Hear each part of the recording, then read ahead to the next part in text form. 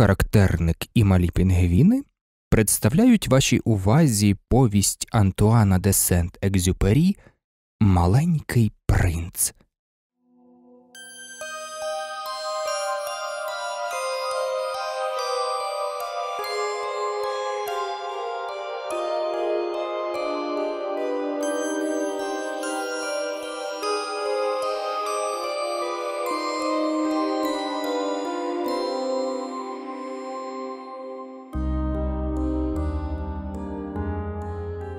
Переклад Анатолія Жаловського Леонові Верту. Даруйте, дітки, що я присвятив цю книжку дорослому. У мене дуже поважне виправдання. Той дорослий мій найкращий приятель. Є й друге виправдання той дорослий може зрозуміти все на світі, навіть дитячі книжки. І нарешті третє дорослий живе у Франції зазнає там голоду й холоду. Йому так треба, щоб його хтось потішив, та коли все це не може виправдати, то я згоден присвятити оцю книжечку тому хлопцеві, яким був колись мій дорослий приятель. Усі бо дорослі спершу були дітьми, тільки мало хто з них про те й пам'ятає. Отож я виправляю присвяту Леонові Верту, коли він був маленьким.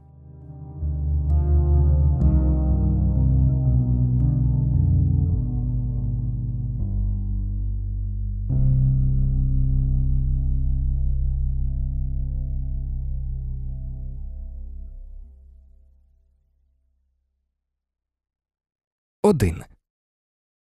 Коли мав я шість років, у книжці під назвою Белиці там про тропічні ліси розповідалося, побачив якийсь химерний малюнок. На малюнку здоровенний удав ковтав якогось хижака. Ось копія того малюнка. У книжці було написано Удав ковтає свою жертву цілою, не прожовуючи. Після цього він не може й ворухнутися, спить собі півроку, аж поки перетравить їжу. Я чимало думав про сповнене пригод життя в джунглях, та й собі намалював кольоровим олівцем мій перший малюнок. Малюнок номер один. Ось що я зобразив. Я показав цей твір дорослим і спитав, чи не лякає він їх? А мені на те, чого б то капелюх нас лякав. Але ж то був не капелюх, то був удав, що проковтнув слона. Тоді я зобразив удава в розрізі, аби дорослим було зрозуміліше. Їм завжди треба все тлумачити. Ось мій малюнок номер два.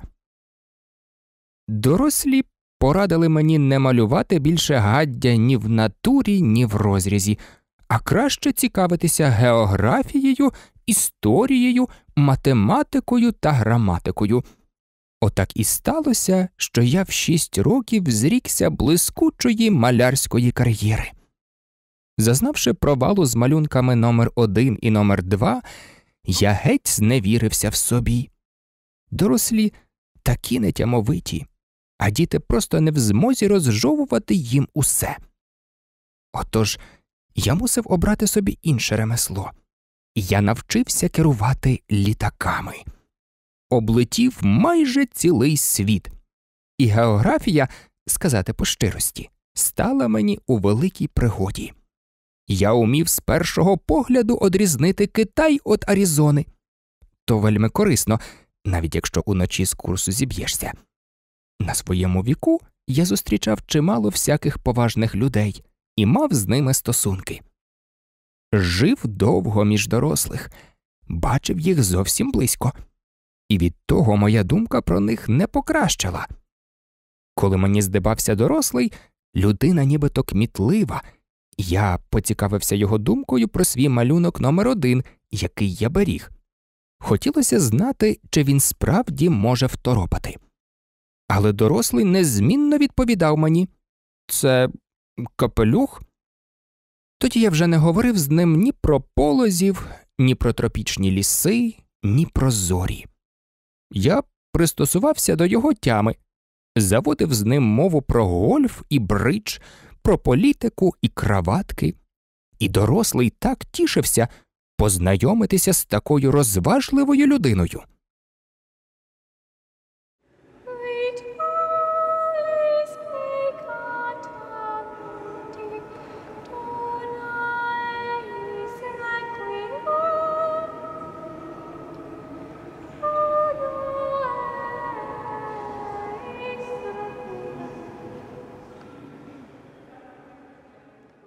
2. Отак жив я сам один, не маючи нікого, з ким міг погомоніти порадитися, аж до аварії, що спіткала мене шість років тому в Сахарі. Почав давати збої двигун мого літака. Ні механік, ні пасажири зі мною не летіли. Довелося поратися самому, хоч ремонт був складний. Тут таке або пан, або пропав. Питної води я мав ледве на тиждень. Отож, першого вечора я заснув на піску пустелі за тридев'ять земель від будь-якої людської оселі. Я був ще самотніший, ніж потерпілий на плоту посеред океану. Уявіть мій подив, коли на зорі мене збудив якийсь чудний голосочок. Він сказав Прошу, намалюй мені баранця. А, намалюй мені баранця. Я скочив, наче мене громом ударило. Старанно протер очі, пильно роззирнувся навкруг і побачив дивовижного хлопчика, що поважно мене розглядав. Ось його найкращий портрет, якого мені пощастило згодом намалювати. Та, звісно, на моєму малюнку він далеко не такий гарний, як був насправді. Не я тут виною. Коли я мав шість років, дорослі відбили в мене охоту до того, щоб стати художником, і я тільки навчився, що малювати удавів у натурі та в розрізі. Отож я з виряченими від подиву очима дивився на цю прояву. Не забувайте, що я був за тридев'ять земель на безлюдді, а проте зовсім не здавалося, щоб це хлоп'я заблукало або вкрай зморилося, чи вмирає з голоду, з праги або зі страху. На око годі було сказати, що це дитина, яка загубилася серед пустелі, запропастилася край світу. Нарешті до мене вернулася мова, і я сказав А що ти тут робиш? Та він знову почав просити тихо і вельми поважно. Прошу, намалюй мені баранця. Таємнича поява так вразила мене, що я не посмів одмовитися. І хоч яким безглуздям це могло здаватися тут, за тридев'ять земель від людей, коли на мене чигала смерть, я добув із кишені аркуш паперу та самописку, але одразу ж згадав, що вчився передусім географії, історії, математики та граматики, і сказав хлопцеві, трохи навіть сердито, що не вмію малювати. Він одмовив Байдуже, намалюй мені баранця. Я зроду не малював баранів і тому відтворив для нього один із двох малюнків, що тільки й умів малювати удава в натурі. І здивувався непомалу, коли хлоп'я одмовило Та ні, я не хочу слона в удаві. Удав дуже небезпечний, а слон надто здоровенний. У мене все маленьке.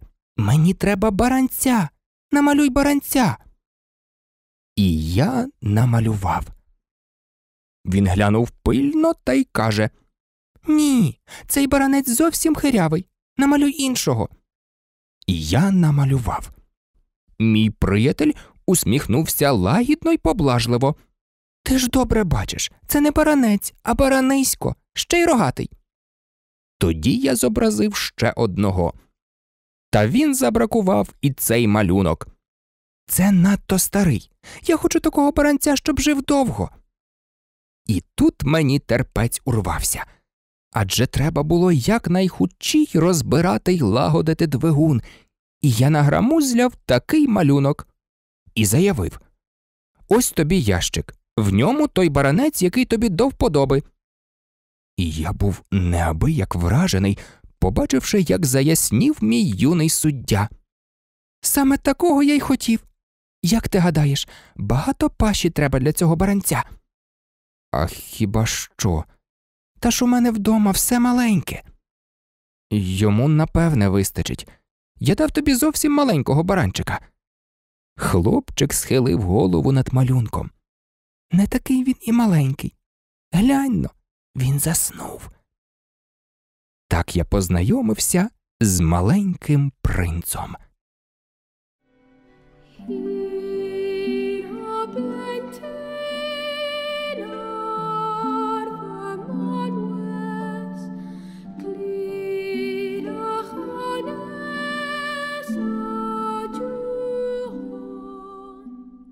3.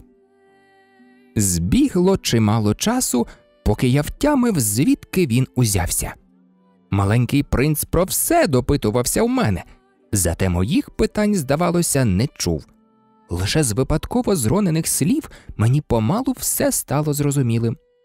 Так, побачивши мій літак уперше, я не малюватиму літака, для мене це дуже морочливо. Він спитав: Що це за штукенція? Це не штукенція, це річ літає, це літак, мій літак. І я гордо розтлумачив йому, що вмію літати. Тоді він вигукнув Як? Ти упав з неба? «А вже ж», – відказав я скромно. От дивина. І маленький принц так голосно зареготав, що мені стало досадно. Я хочу, щоб моєму лихові бодай співчували.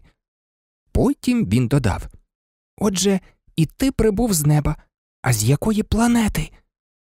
Ось де розгадка його таємничої появи тут, у пустелі. То ти потрапив сюди з іншої планети? гостро спитав я. Та він не відповів. Розглядаючи мого літака, він тихо хитав головою. Але ж на ньому ти не міг прилетіти здалеку. І надовго поринув у роздуми. Потім дістав з кишені мого баранця і почав роздивлятися цей скарб. Уявляєте, як зацікавило мене оте напіввизнання, ота загадка про інші планети. Я спробував дізнатися більше. Звідки ж ти прибув, хлопче? Де твій дім? Куди ти хочеш забрати мого баранця? На хвилю він замислився, потім промовив Добре, що ти дав мені ящик. Баранець тут ночуватиме. Це буде його оселя. «А тож, а коли ти шануватимешся, я дам тобі ще й мотузок, щоб припинати його удень, і пакіл. Мої слова нібито прикро вразили маленького принца. Припинати? Яке безглуздя. Бач, коли ти його не припнеш, він залізе в шкоду або втече. Мій приятель знову засміявся. Та куди ж, по-твоєму, йому тікати? Будь-куди, просто перед собою, куди очі світять. Тоді маленький принц зауважив серйозно Пусте, у мене там усе дуже маленьке. І дещо журливо додав Коли йти просто перед собою, куди очі світять, то далеко не зайдеш.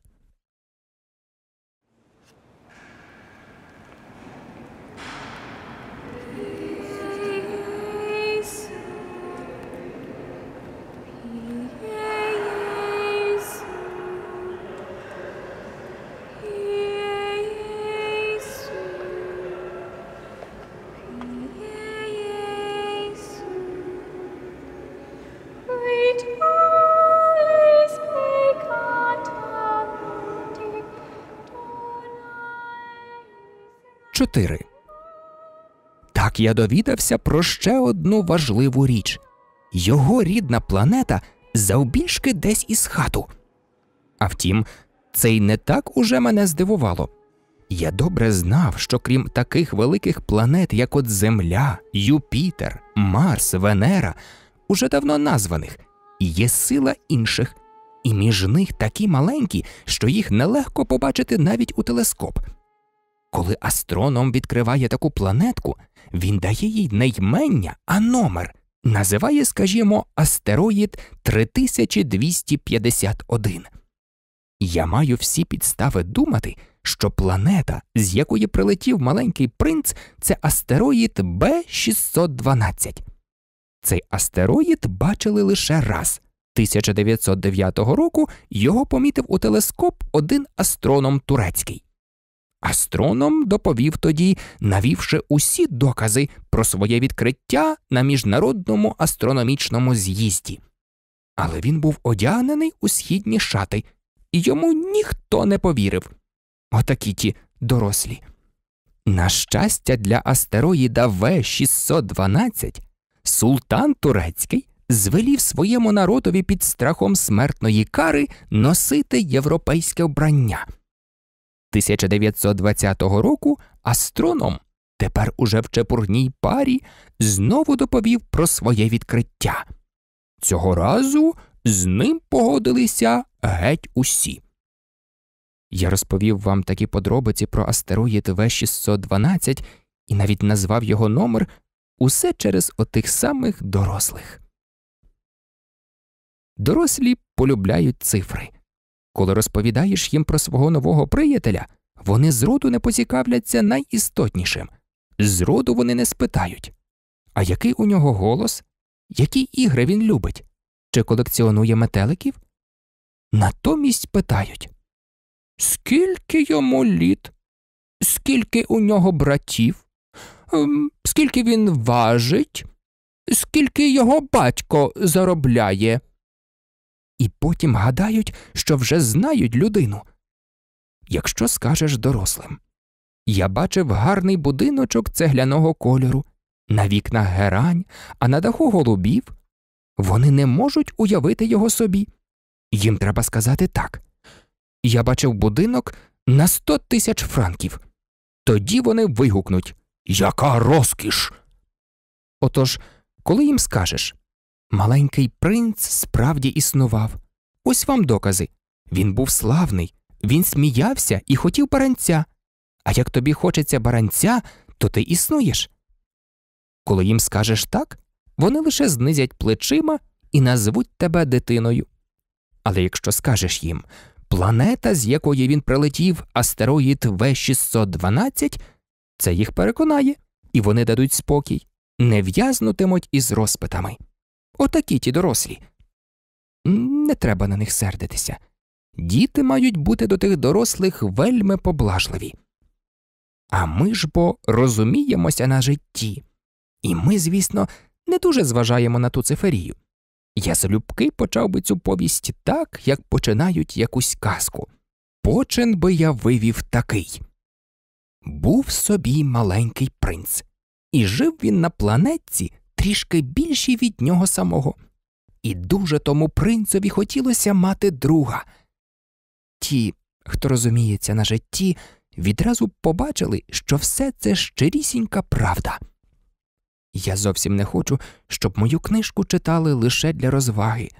Мені стає дуже боляче, коли я згадую свого маленького приятеля і розповідаю про нього.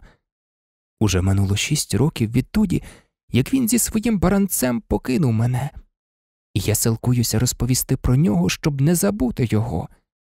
Живий жаль бере, коли забувають друзів. Не кожен має друга, і я можу стати таким, як дорослі, котрі нічим не цікавляться, окрім своєї циферії. От я ще й тому купив коробочку з фарбами та олівці. Нелегко мої літа знову братися до малювання, якщо за все життя лише й зобразив, що удава в натурі та в розрізі, колись там у шість років. Я, звісно, намагатимусь якнайліпше передати схожість. Я зовсім не певен, що мені з цим пощастить. На одному малюнку виходить вдало, на іншому портрет зовсім не схожий. Я можу схибити і щодо зросту. Ось тут маленький принц завеликий, а он там він замаленький. Я вже вагаюся, згадуючи барву його одягу. Тож мазюкаю і так, і сяк навмання. Можу, зрештою, помилитися і в деяких важливих подробицях. Ви мені даруйте. Мій приятель ніколи мені нічого не пояснював. певне, гадав, що я такий самий, як і він. Але я, на жаль, не вмію побачити баранця крізь стінки ящика. Певне, я трохи скидаюся на дорослих. Очевидно, дещо постарів.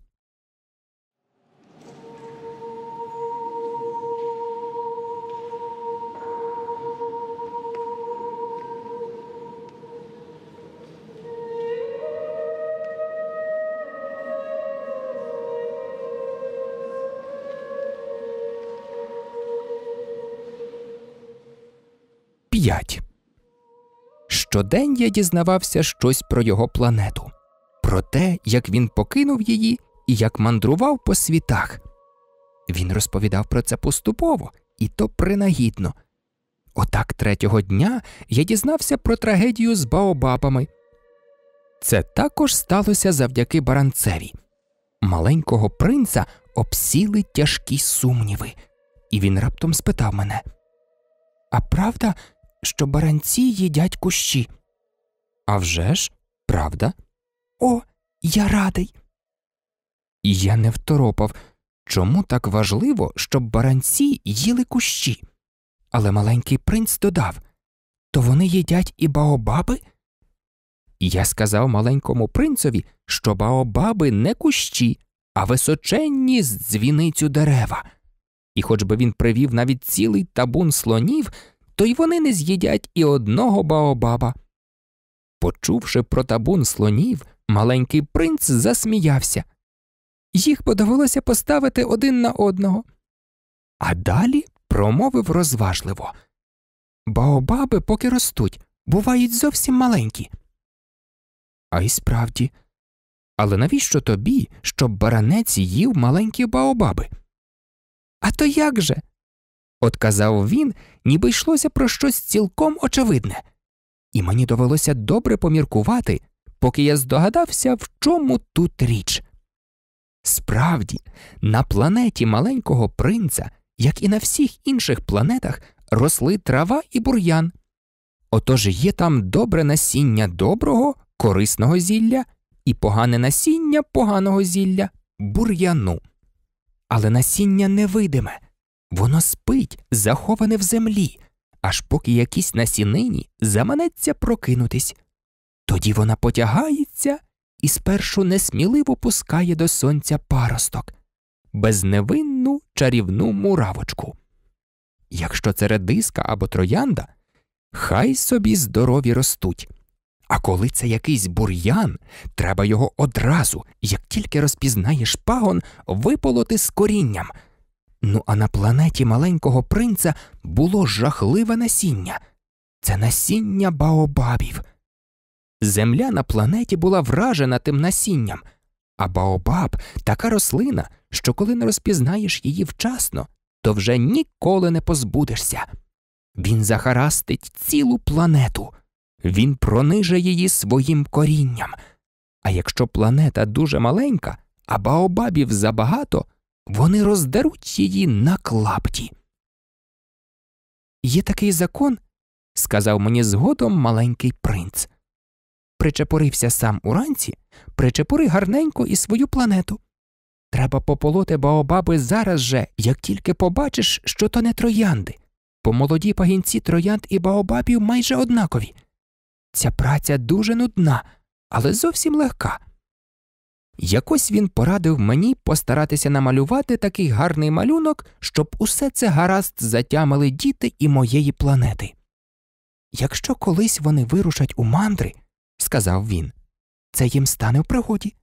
Іноді якусь свою роботу можна й відкласти, нічого від того не станеться. Але з баобабами відкладати годі, тоді чекай лиха. Я знав одну планету, там жив лінтюх. Він не звернув уваги на три кущики. З оповіді маленького принца я зобразив цю планету. Я не люблю повчального тону. Та люди так мало знають, скільки шкоди від баобабів, а небезпека для того, хто потрапив би на астероїд, від них така велика, що цього разу я роблю виняток і порушую свою стриманість. Діти, кажу я, стережіться баобабів. Я хотів застерегти моїх приятелів від небезпеки, що давно чигає на них. А вони не знають цього, як я не знав сам раніше. Хотів попередити їх, і тим, хто так завзято працював над цим малюнком. Словом, моє повчання варте тієї праці. Можливо, ви запитаєте, чому в цій книжечці немає ще таких показних малюнків, як оцей із baобабами? Відповідь вельми проста. Я старався їх намалювати, але нічого не вийшло. А коли малював Баобаби, мене запалювала думка, що ця річ невідкладна.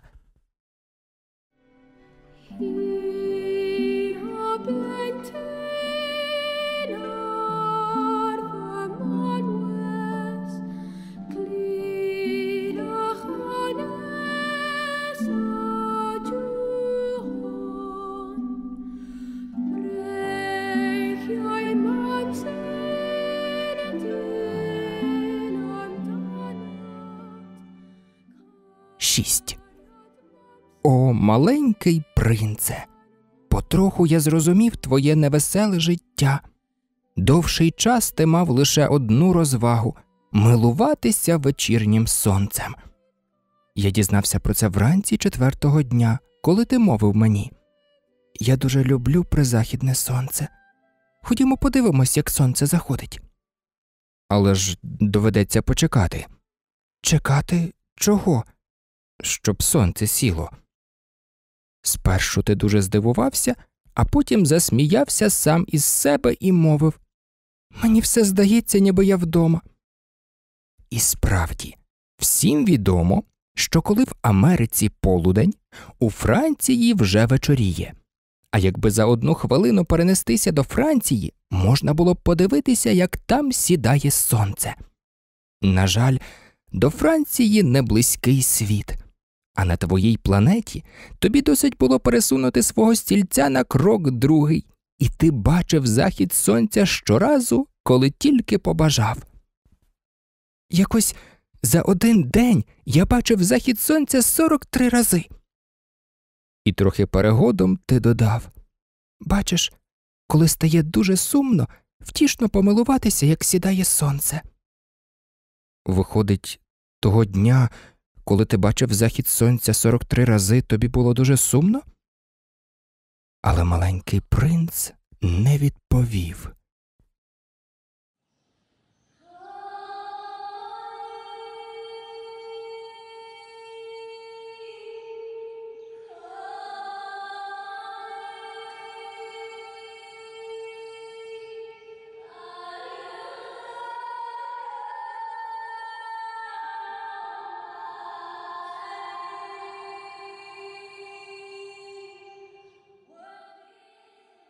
Сім.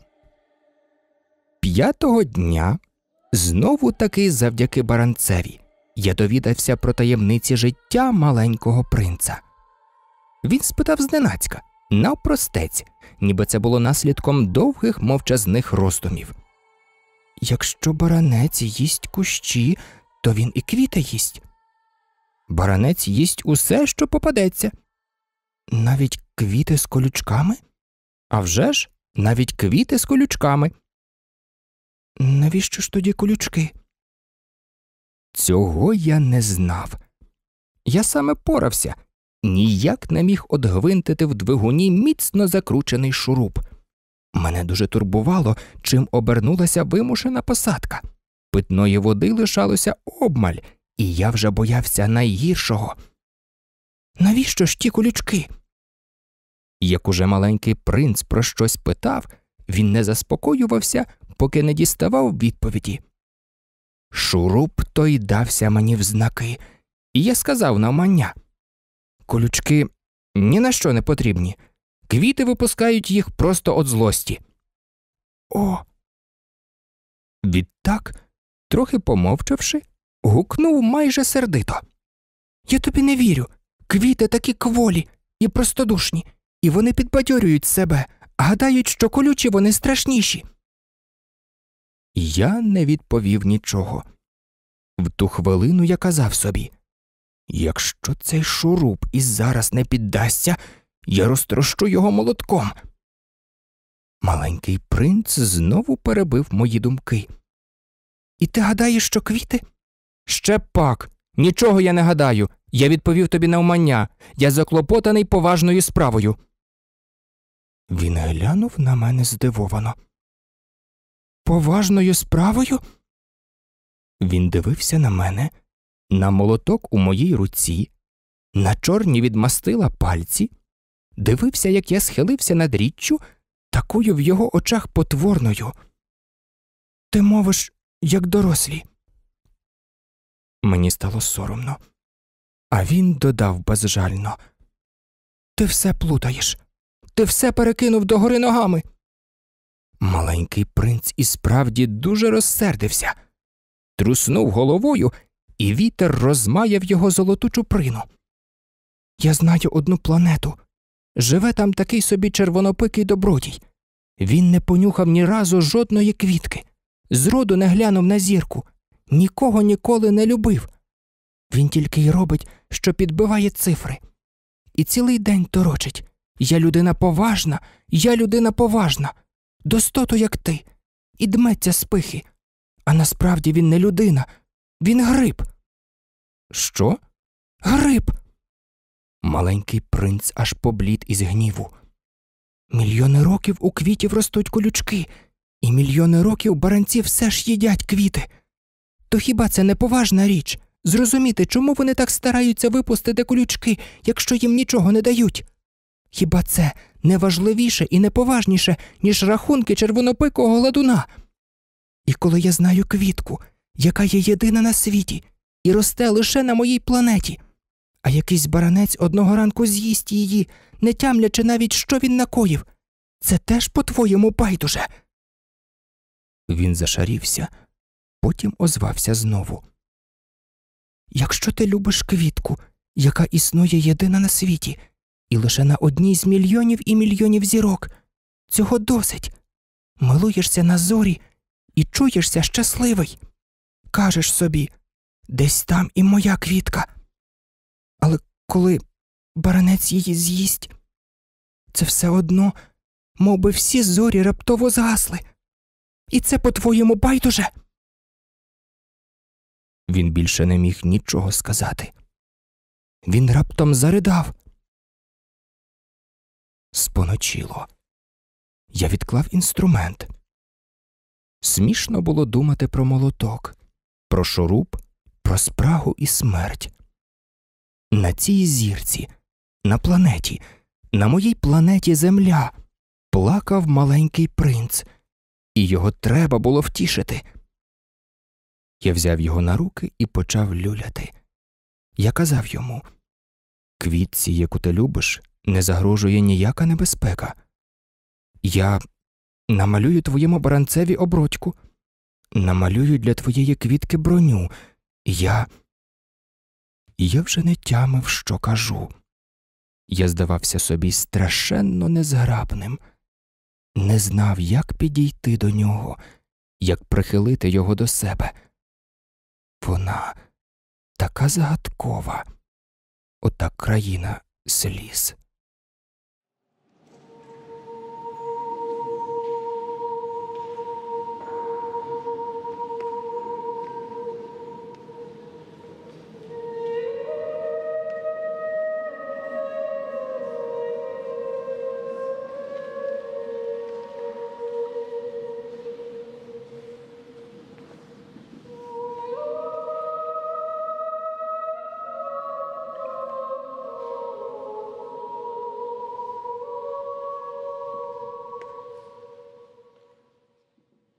Вісім.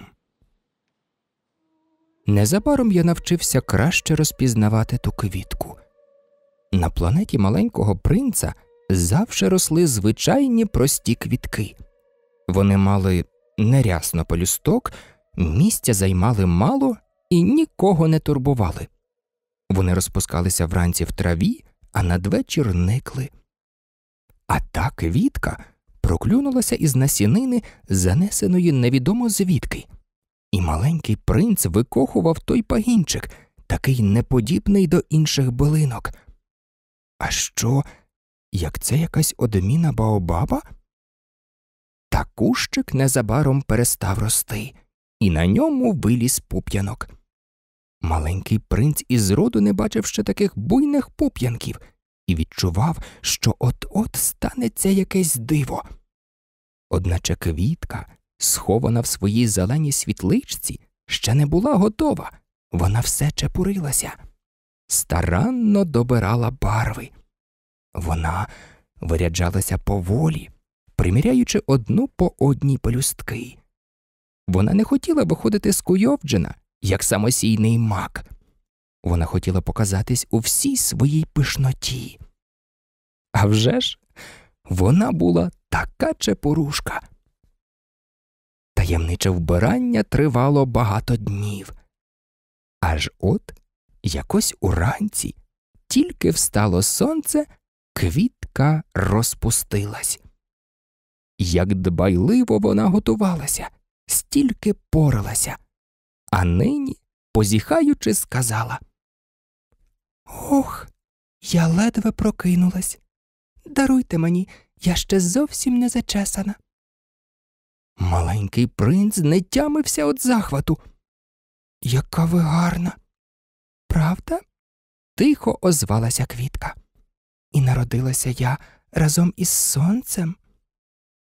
Маленький принц, звісно, здогадався, що красуня не надто скромна, зате вона була така прегарна. Здається, пора снідати, додала вона по хвилі. Прошу, потурбуйтесь про мене. Збентежений маленький принц розшукав поливальницю і полив квітку. Скоро з'ясувалося, що красуня гордовита й вередлива, і маленький принц помучився з нею. Якось, мовлячи про свої чотири колючки, вона заявила йому Хай приходять хоч тигри пазуристі, не страшно. На моїй планеті тигри не водяться, відказав маленький принц. А потім тигри не їдять трави.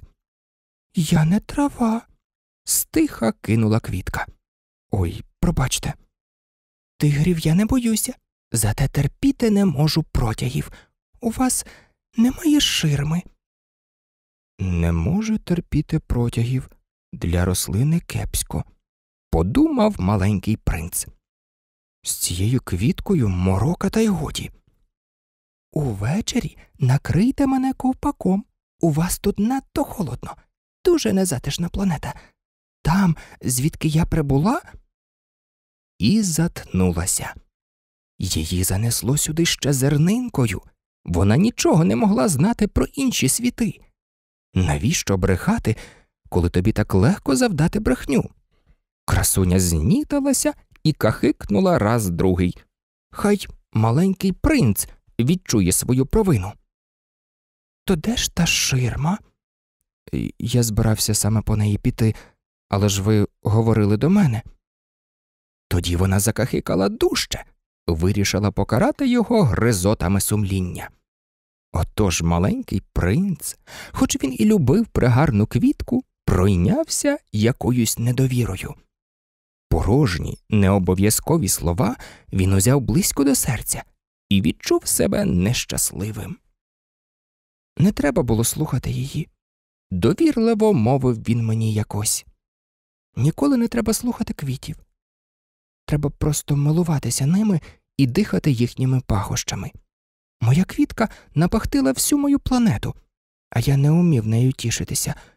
Оті балачки про тигрячі пазурі, вони мали зворушити мене, а я розгнівався. І ще він признався. Тоді я ще нічого не розумів. Треба було зважати не на слова, а на діла. Вона впоювала мене своїм ароматом, ряхтіла, як сонце. То чом би я мав від неї тікати? Адже за тими її нелукавими хитрощами я мав би вгадати ніжність. Квіти бо такі свавільні. Але я був занадто молодий, щоб уміти любити.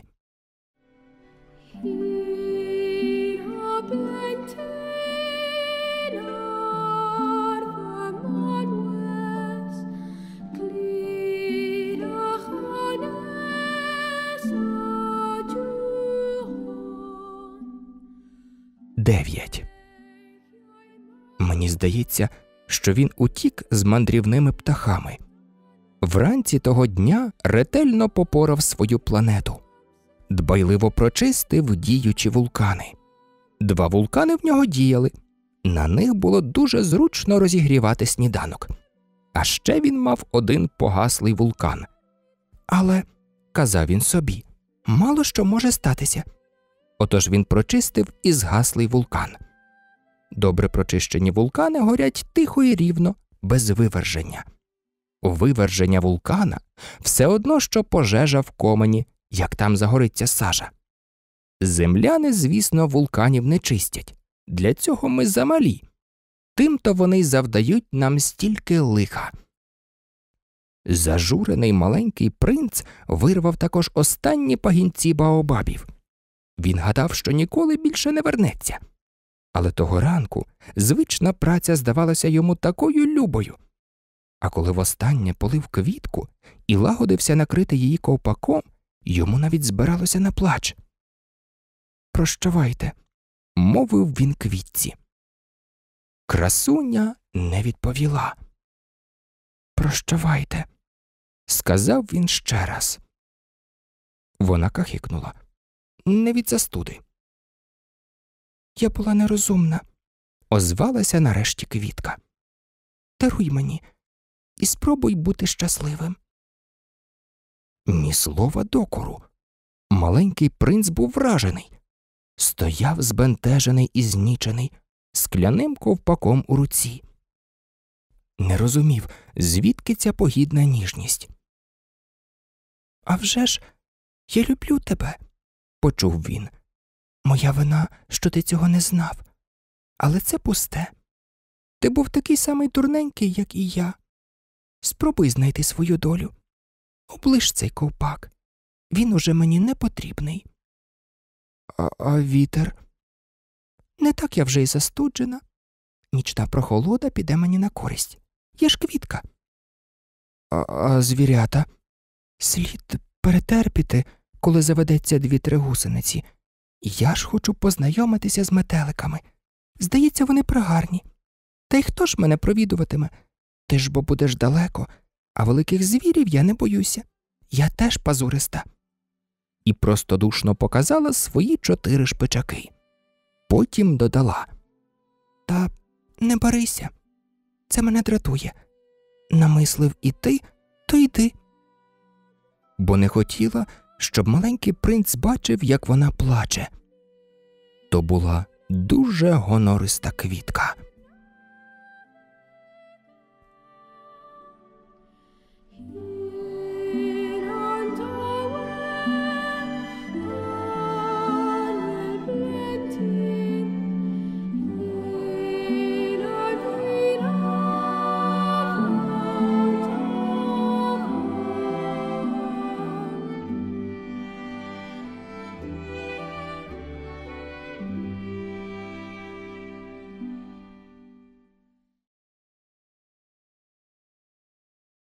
10.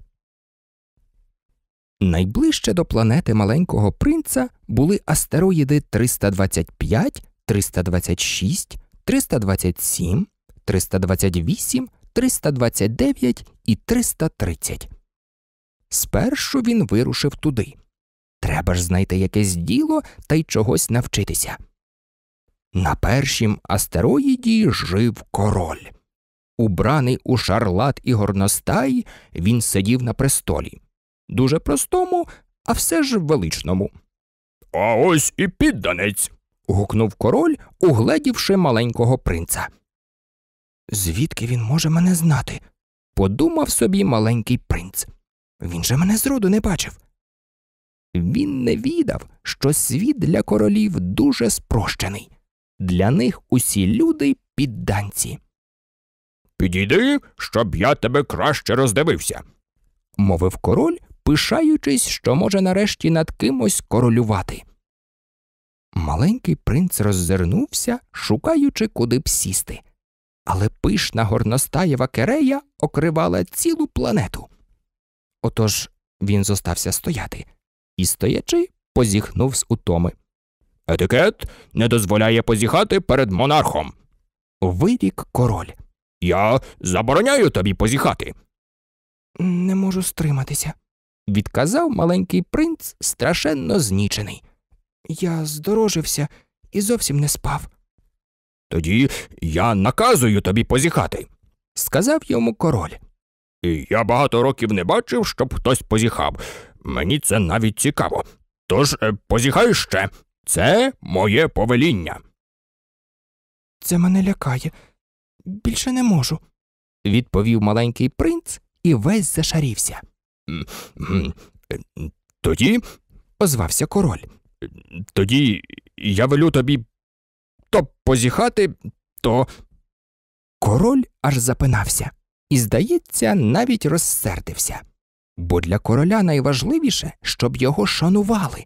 Непослуху він не стерпів би.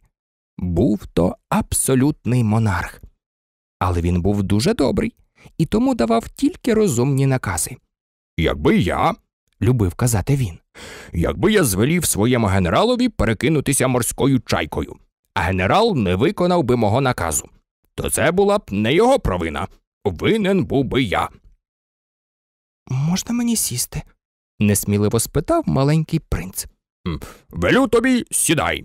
Одрік король і велично підгорнув полу своєї горностаєвої киреї.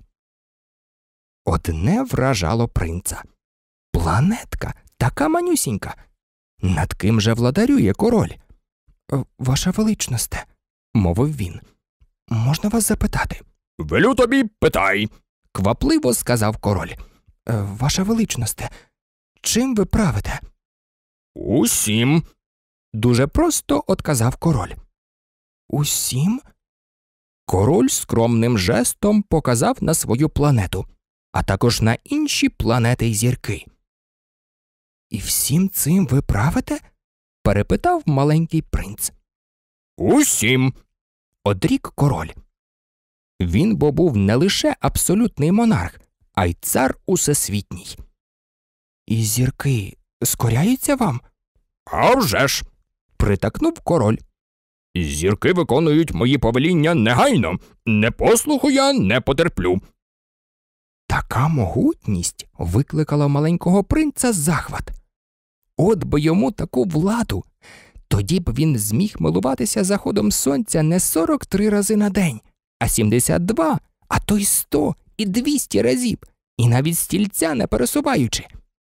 Згадавши свою покинуту планетку, він трошки зажурився і зважився попросити короля. Я б хотів подивитись, як сідає сонце. Зробіть мені ласку, звеліть сонцеві зайти.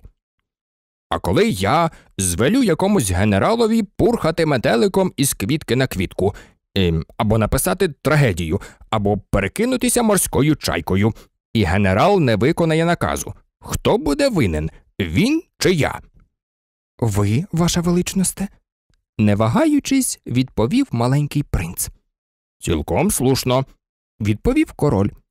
Від кожного треба вимагати лише те, що він може зробити. Влада передусім має бути розумна. Коли ти накажеш народові кинутись у море, то він учинить революцію.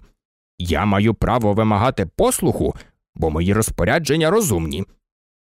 А як же мій захід сонця? нагадав маленький принц. Питаючись про щось, він ніколи не заспокоювався, доки не діставав відповіді. Буде тобі і захід сонця. І я зажадаю, щоб сонце сіло. Почекаю, поки будуть сприятливі умови, в тому й мудрість володаря. А коли це буде? спитав маленький принц. Гм-гм. Відповів король, гортаючи грубого календаря. Це буде. Сьогодні це буде за чверть восьма вечора, і тоді побачиш, як точно виконуються мої розпорядження. Маленький принц позіхнув. Шкода, що тут не завжди можна бачити захід сонця. Та й, сказати по щирості, він уже нудився. Мені пора, сказав він королю. Більше тут нема чого робити, Е, зостанься. Мовив король, неабияк гордий з того, що в нього знайшовся підданець. Е, зостанься. Я призначу тебе міністром. Міністром чого? Е, Ну, міністром, міністром юстиції. Але ж тут нема кого судити, Хто зна, мовив король. я ще не оглянув усього свого королівства. Я вже старий. Для карети місця в мене нема, а ходити пішки я зморююся.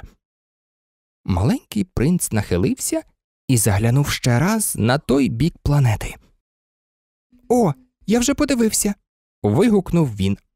Там більше нікого немає. То суди сам себе, Відказав король. це найважче. Себе судити набагато важче, ніж інших. Якщо ти зумієш правильно судити самого себе, то ти справді мудрий. Сам себе я можу судити де завгодно, сказав маленький принц. Для цього мені нема чого тут жити. Задумався король. Здається, десь на моїй планеті живе старий пацюк. Ночами я його чую. Ти можеш судити цього старого пацюка. В ряди годи засуджуватимеш його на смертну кару. Отож від тебе залежатиме його життя. Але щоразу ти даватимеш йому помилування, щоб берегти його. Адже він у нас один. Не люблю смертних вироків, мовив маленький принц. Та й мені вже пора, Е, ні, не пора. заперечив король. Маленький принц уже зовсім зібрався в дорогу, але йому не хотілося засмучувати старого монарха. Якщо ви, ваша величність, бажали б, щоб вашу волю вволяли, ви могли б дати мені розумний наказ, веліти, приміром, не гаючись рушати в путь. Мені здається, умови для цього дуже сприятливі. Король нічого не відповів. Маленький принц постояв у нерішучості, потім зітхнув і пішов геть. Призначаю тебе моїм послом. гукнув услід йому король. І виглядав він дуже владно.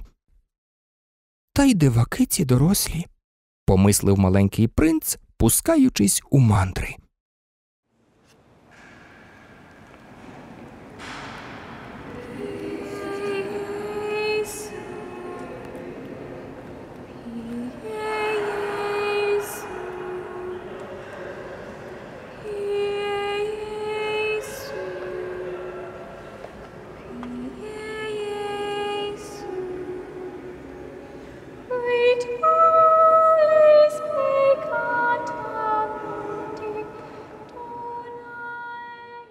11.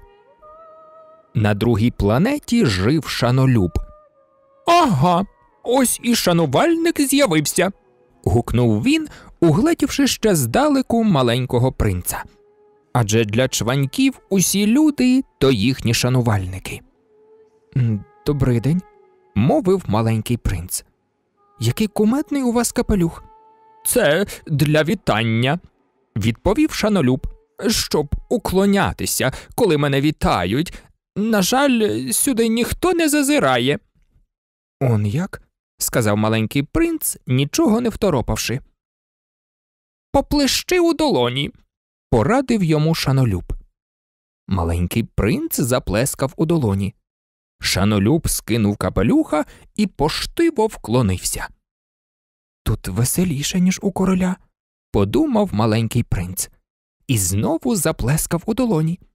А шанолюб, скидаючи свого капелюха, ще раз уклонився.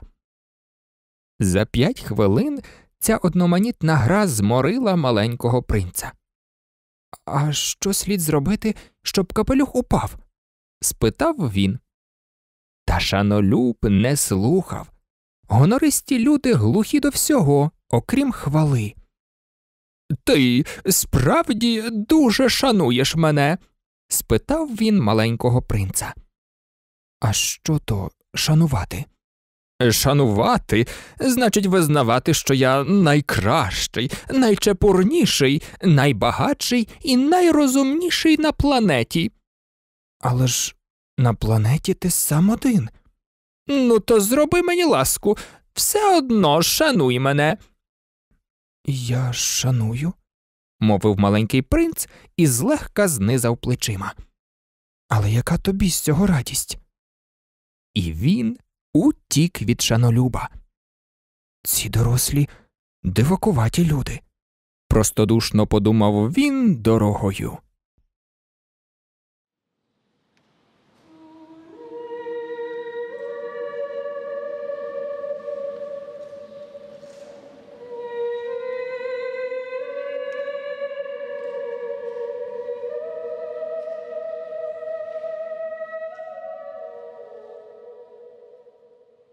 Дванадцять. На дальшій планеті жив п'яничка. Маленький принц побув там зовсім недовго, а все одно його пройняла глибока журба. П'яничка мовчки сидів перед цілою батареєю пляшок, порожніх і повних. Що ти тут робиш? поцікавився маленький принц. П'ю. похмуро буркнув п'яничка. Навіщо ти п'єш? Спитав маленький принц. Щоб забути, відповів п'яничка. Що забути? допитувався маленький принц. Йому стало шкода п'янички. Забути, що мені соромно, признався п'яничка і похнюпив голову. Чого ж тобі соромно? спитав маленький принц. Йому дуже хотілося чимось зарадити неборакові. Соромно, що б'ю, додав п'яничка і замовк остаточно. А маленький принц ні всіх, ні в тих пішов геть. Ці дорослі, безперечно, якісь дуже чудні, думав він дорогою.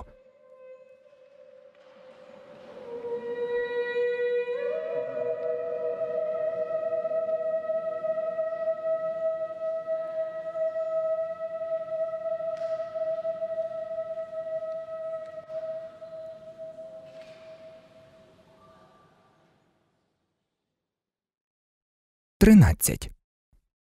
Четверта планета належала ділкові. Цей чолов'яга був такий заклопотаний, що коли прийшов маленький принц, навіть голови не звів. «Добрий день», – сказав маленький принц. У вас погасла цигарка. Два та три п'ять, п'ять та сім, дванадцять, дванадцять та три, п'ятнадцять. Добрий день. П'ятнадцять та сім, двадцять два, двадцять два та шість, двадцять вісім. Нема коли прикурити. Двадцять шість та п'ять, тридцять один. Хух. А всього виходить 501 мільйон 622 тисячі 731. 500 мільйонів чого? Ага, ти ще тут 500 мільйонів. Е, Уже не знаю чого. У мене стільки роботи. Я людина поважна. Мені нема коли язика чесати. Два та п'ять, сім. 500 мільйонів чого? повторив маленький принц. Питаючись про щось, він не заспокоювався, поки не діставав відповіді. Ділок звів голову. За 54 роки, прожиті мною на цій планеті, було лише три випадки, коли мені щось заважало. Першого разу це сталося 22 роки тому. Сюди звідкись залетів хрущ. Він так страшенно гудів, що я припустився чотирьох помилок у підрахунках. Другого разу, 11 років тому, я мав напад ревматизму. Сидячий спосіб життя. Мені нема коли вештатися. Я людина поважна. Утретє, Оце тепер. Отож виходить 500 мільйонів. Чого? Ділок зрозумів, що йому не дадуть спокою. Е, отих маленьких е, штучок, що їх іноді можна бачити в повітрі. Це що ж, мухи? Та ні, е, такі дрібненькі, блискучі. Бджоли? Та ні, дрібненькі золоті штучки, що викликають мрії у ледацюг. Е, А я людина поважна, мені мріяти нема коли. А, це зорі. Е, От-от, зорі. 500 мільйонів зірок? А що ти з ними робиш? 500 мільйонів 622 тисячі 731. І я людина поважна. Я люблю точність. То що ти робиш із тими зірками? Е, Що роблю? Так. Нічого, я ними володію. Володієш зірками? Так. Але я вже бачив короля, який. Королі нічим не володіють, вони лише правлять. Це велика різниця. А нащо тобі володіти зірками? Щоб багатим бути. А нащо бути багатим? Щоб купувати ще нові зірки, якщо їх там хтось відкриє. Цей, сказав собі маленький принц, міркує майже так, як той п'яничка. однак розпитував далі. А як можна володіти зірками? «Е, Зірки, е, вони чиї? буркотливо спитав ділок. Не знаю, нічиї. Отже, вони мої, бо я перший до цього додумався. І цього досить? А вже ж, коли ти знайдеш діамант, який не належить нікому, то він твій. Коли ти знайдеш острів, який не належить нікому, то він твій. Коли тобі першому спаде якась думка, ти береш на неї патент. Вона твоя. Я володію зірками, бо до мене ніхто не здогадався ними заволодіти. Оце правда, мовив маленький принц. І що ти з ними робиш? Завідую ними, відказав ділок. Лічу їх і перелічую. Це дуже важко, але я людина поважна. Одначе маленького принца ще не вдовольнило. Якщо я маю шовкову густинку, то я можу пов'язати її на шию і забрати з собою, мовив він. Якщо я маю квітку, я можу її зірвати і взяти з собою. А ти не можеш забрати зорі? Ні, е, зате я можу покласти їх у банк. Як це розуміти? А так, пишу на папірці, скільки в мене зірок. Потім кладу цього папірця до шухляди і замикаю її на ключ. Та й усе? Цього досить. Цікаво, подумав маленький принц. І навіть поетично, але це не дуже серйозно. Що серйозно, а що не серйозно, маленький принц розумів по-своєму зовсім не так, як дорослі. Я маю квітку, сказав він, і щоранку її поливаю. У мене три вулкани, і я щотижня їх прочищаю. Усі прочищаю, і діючі, і погаслий. Мало що може статися. І моїм вулканам, і моїй квітці корисно, що я ними володію, а зорям від тебе нема ніякої користі. Ділок відкрив рота, але так і не здобувся на відповідь, і маленький принц рушив далі. Дорослі, таки справді дивацьке поріддя, простодушно сказав він собі в дорозі.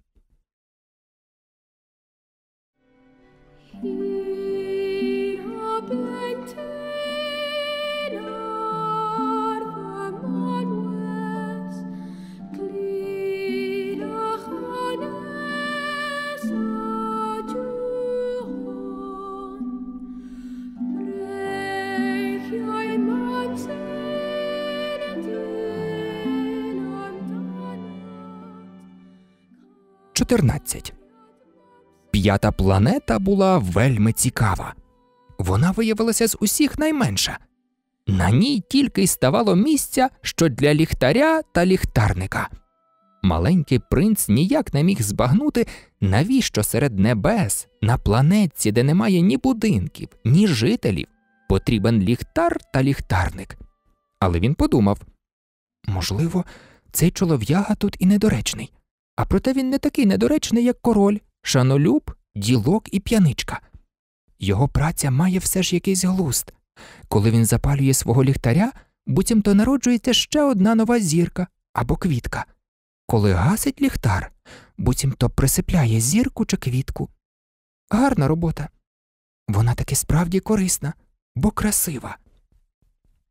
І, порівнявшись із планетою, він шанобливо привітався до ліхтарника.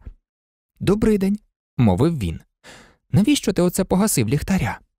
Таке розпорядження, відказав ліхтарник. «М, Добрий день. А що за розпорядження? Щоб я гасив свого ліхтаря. «М, Добрий вечір. І він знову запалив ліхтаря. А навіщо ти знов його засвітив? Таке розпорядження, відповів ліхтарник. Не розумію, признався маленький принц. А що тут розуміти? сказав ліхтарник. Розпорядження це розпорядження. Добрий день. І погасив ліхтаря. Відтак картатою червоною хусточкою витер під із чола і сказав Жахливе в мене ремесло. Колись воно мало глуст. Я гасив ліхтаря вранці, а ввечері знову запалював. Решту дня я міг відпочивати, а решту ночі спати. А потім розпорядження змінилося? Розпорядження не змінилося, сказав ліхтарник. У тому то й лихо. Моя планета з кожним роком обертається швидше й швидше, а розпорядження лишилося те саме. А як же зараз? спитав маленький принц. А ось так. Планета робить повний оберт за одну хвилину, і я не маю ні секунди перепочинку. Щохвилини я гашу ліхтаря і знов його запалюю. От цікаво. Отже, у тебе день триває всього одну хвилину. А що тут цікавого? відказав ліхтарник. Уже цілий місяць, як ми розмовляємо з тобою. Цілий місяць? А вже ж, тридцять хвилин, тридцять днів. Добрий вечір.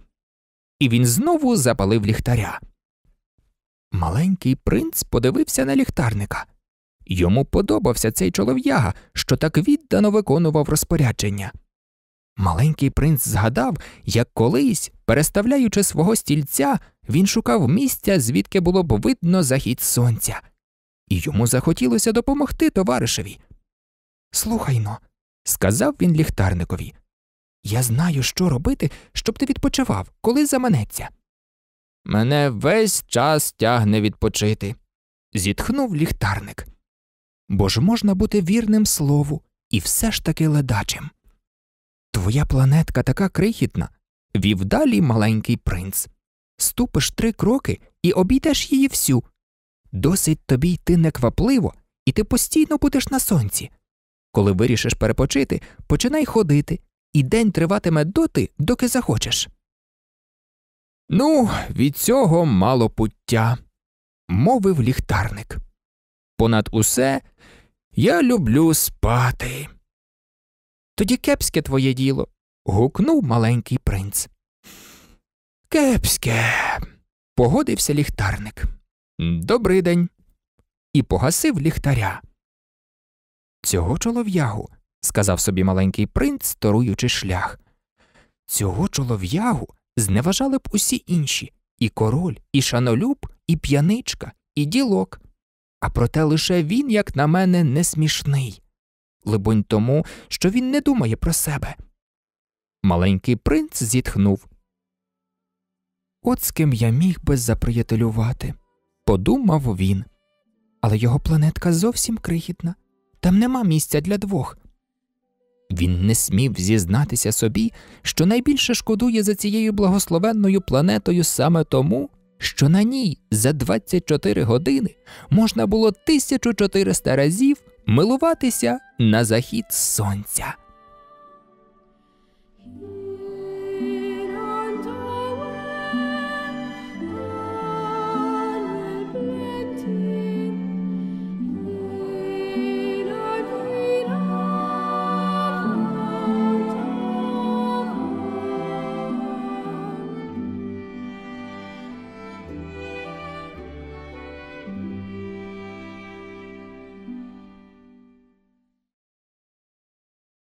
15.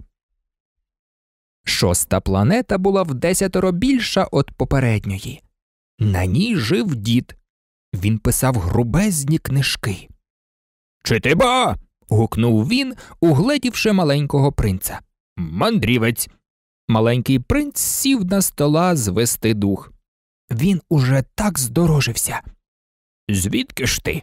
спитав його старий добродій. А що це за грубезна книжка? поцікавився маленький принц. Що ви тут робите? Я географ, мовив старий добродій. А що таке географ? Це вчений, котрий знає, де розташовані моря, річки, міста, гори й пустелі. Як цікаво. вигукнув маленький принц. Оце вже справжній фах. І він роззирнувся по планеті географа. Зруду маленький принц не бачив планети такої величної. А вона дуже гарна, ваша планета. А океани тут є? Цього я не можу знати, мовив географ. А. протягнув маленький принц розчаровано. А гори? «Е, Цього я не можу знати, відказав географ. А міста, річки, пустелі. Цього я теж не можу знати. Але ж ви географ, А вже ж. сказав дід. Я географ, а не мандрівець. Мені геть бракує мандрівців. Не географи ж ведуть облік міст, річок, гір, морів, океанів і пустель. Географ особа надто поважна, щоб вештатися світами. Він не виходить зі свого кабінету, але він приймає у себе мандрівців, розпитує їх, записує їхні розповіді. І Якщо розповіді когось із них географа зацікавлять, то він з'ясовує, чи порядна людина той мандрівець. А навіщо? Бо коли мандрівець набреше, в підручниках з географії буде лише плутанина, так само, як і той мандрівець, який не в міру п'є, А чому? Бо у п'яничок двоїться в очах, і там, де стоїть одна гора, такий географ позначив би дві. Я одного такого знаю, заявив маленький принц. З нього був би кепський мандрівець. Цілком можливо. Отож, коли з'ясовується, що мандрівець людина порядна, тоді перевіряють його відкриття. А як саме? Ідуть дивитися? Е, ні, це надто складно. Вимагають, щоб мандрівець подав докази. Скажімо, він відкрив велику гору, то нехай принесе з неї велике каміння. Нараз географ захвилювався. Але ж ти і сам мандрівник, ти прибув здалеку. Опиши мені свою планету. І географ розгорнув книгу записів і застругав олівця. Оповіді мандрівників спершу записуються олівцем, потім чекають, коли мандрівець дасть докази. Тоді вже його оповіді можна записати чорнилом. Е, прошу. мовив географ. О, в мене там не вельми цікаво, сказав маленький принц. Усе малесеньке. У мене три вулкани, два діють, а один давно погас. Але мало що може трапитися, Так, усе може трапитися. потвердив географ. А ще у мене є квітка, Е, Квітів ми не записуємо. відказав географ. Чому? Це ж найпрекрасніше, що є на світі. бо квіти ефемерні. Як це ефемерні? Книжки з географії найцінніші з усіх книжок. мовив географ. Вони ніколи не застаріють. Дуже рідко трапляється, щоб гора зрушила з місця. Дуже рідко буває, щоб океан пересох.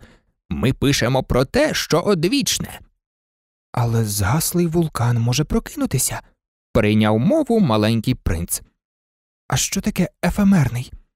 Погас вулкан чи діє, для нас то байдуже. мовив географ. Для нас важлива сама гора.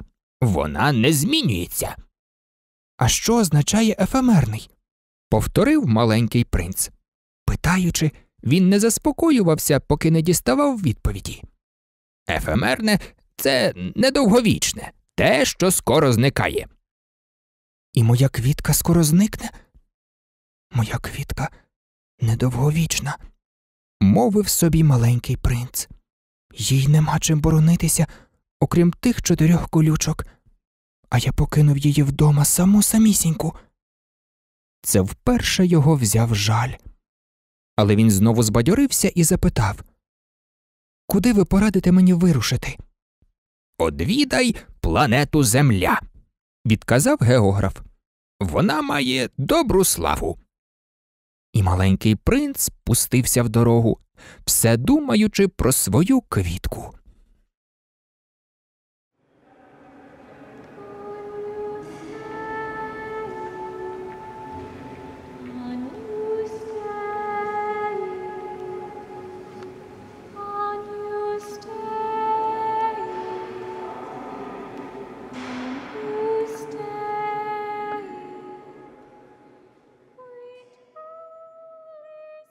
16. Отож сьома планета була Земля. Земля планета неабияка, на ній 111 королів, не поминаючи, звісно, і муринських, 7 тисяч географів, 9 тисяч ділків, 7,5 мільйонів п'яничок, 311 мільйонів шанолюбців, себто десь із 2 мільярди дорослих. Аби ви уявили, яка то велика земля, скажу лиш, що до винайдення електрики доводилось на всіх шести материках утримувати цілу армію ліхтарників 462 тисячі 511 душ. Як глянути збоку, то було прегарне видовисько. Дії цієї армії відзначалися злагодженістю, як у балеті. Починали ліхтарники Нової Зеландії та Австралії. Запаливши свої вогні, вони подавалися спати. Тоді виступали ліхтарники Китаю та Сибіру. Виконавши свою партію, вони ховалися за лаштунками. Потім надходила черга ліхтарників у Росії та Індії. Далі в Африці та Європі, тоді в Південній Америці, за ними в Північній Америці. І всі вони появлялися на кону своєчасно і ніколи не помилялися. Так, це було блискуче. Лише тому ліхтарникові, який запалював єдиного ліхтаря на північному полюсі, та ще його побратимові біля єдиного ліхтаря на південному полюсі, лише цим двом жилося легко й безтурботно. Вони працювали двічі на рік.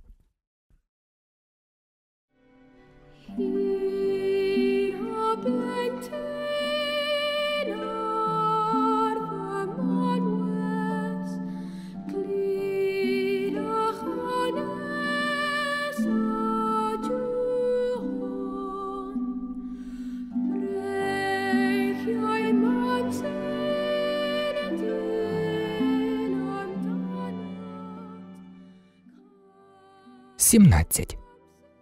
Як хочеться сказати дотепніш, іноді й прибрешеш. Розповідаючи про ліхтарників, я дещо розминувся з правдою. Боюся, що той, хто не знає нашої планети, може уявити її хибно. Люди займають на землі не так уже й багато місця. Аби два мільярди її жителів зійшлися і поставали тісно один при одному, як на мітингу, вони легко вмістилися б на площі 20 миль завдовжки і 20 завширшки. Все людство можна було б збити вкупу на найменшому острові в Тихому океані. Дорослі, звичайно, вам не йнятимуть віри. Вони гадають, що займають багато місця. Їм, мов тим баобабам, здається, ніби вони великі й величні. А ви порадьте їм підрахувати. Їм це припаде до вподоби, вони бо кохаються в цифрах. Ви ж не гайте часу на цю нудну роботу. Це ні на що. Ви й так мені вірите. Отож, потрапивши на землю, маленький принц не побачив ані лялечки і вельми здивувався. Він уже злякався, що помилково залетів на якусь іншу планету. Але тут, у піску, ворухнулося кільце такої барви, наче місяць. Добрий вечір, мовив на всяк випадок маленький принц. Добрий вечір, відповіла гадюка. На яку планету я потрапив? На землю, мовила гадюка. До Африки. Ага, то що, на землі нема нікого? Це пустеля. В пустелях ніхто не живе. Земля велика, сказала гадюка. Маленький принц присів на камінь і звів очі до неба. От цікаво, чому зорі світяться, сказав він. Мабуть, щоб кожен рано чи пізно міг відшукати свою зірку. Диви, он моя планета, саме над нами. Але як до неї далеко? Гарна планета, мовила гадюка. А чого ти сюди завітав? Я посварився з одною квіткою, зітхнув маленький принц. А, он воно що. І обоє замовкли. А де ж люди? Знов озвався нарешті маленький принц. У пустелі все таки самотньо. Серед людей також самотньо, відповіла гадюка. Маленький принц глянув на неї пильно. Чудна ти істота, мовив він, завтовшки з пальчик. Зате влади у мене більше, ніж у пальці короля, сказала гадюка. Маленький принц усміхнувся. Не така вже ти й дужа. Ти навіть без лапа, та й мандрувати не можеш. Я можу занести тебе далі, ніж будь-який корабель, мовила змія, і обвела круг кісточки ногу маленького принца, наче золота обручка. Усякого, кого я торкнусь, я повертаю з землі, з якої він вийшов. Мовила ще вона. Але ти беззвинний і прибув із зірки. Маленький принц нічого не відповів. Мені шкода тебе, ти такий тендітний на цій крем'яній землі. Я можу тобі підсобити, якщо ти дуже пошкодуєш за своєю покинутою планетою. Я можу. О, я добре зрозумів, сказав маленький принц. Але чому ти весь час говориш загадками? Я розв'язую всі загадки, відповіла гадюка, і обоє змовкли.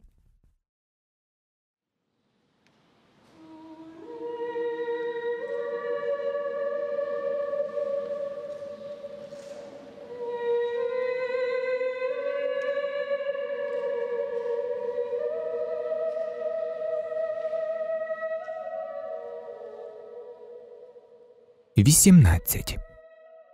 Маленький принц перейшов пустелю і нікого не спіткав, лише одну квітку, маленьку непоказну квітку з трьома пелюстками. Добрий день, сказав маленький принц. Добрий день, відповіла квітка. А де люди? гречно спитав маленький принц.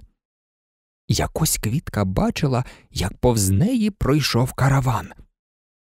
Люди?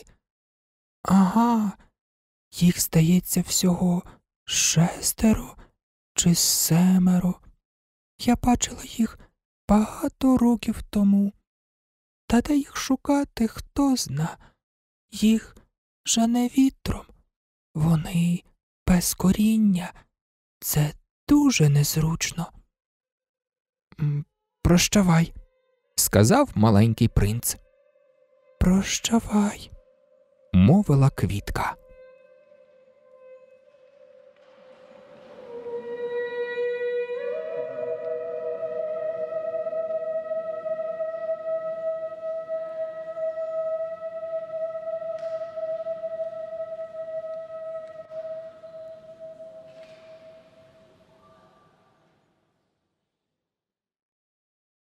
Дев'ятнадцять. Маленький принц зіп'явся на високу гору. Раніше він ніколи не бачив гір, окрім трьох вулканів, що були йому до колін. Згаслий вулкан правив йому за дзиглика. Отож маленький принц помислив з такої високої гори я зразу побачу всю планету і всіх людей. Але побачив лише скелі шпичасті, шпилясті. Добрий день, мовив він про всяк випадок. Добрий день, добрий день, добрий день, озвалася луна. Хто ви? спитав маленький принц. Хто ви? Хто ви? Хто ви? відповіла луна. Будьте моїми приятелями, мовив він. Я геть один. Геть один, геть один, геть один. Відгукнулася луна. Яка чудна планета, подумав тоді маленький принц.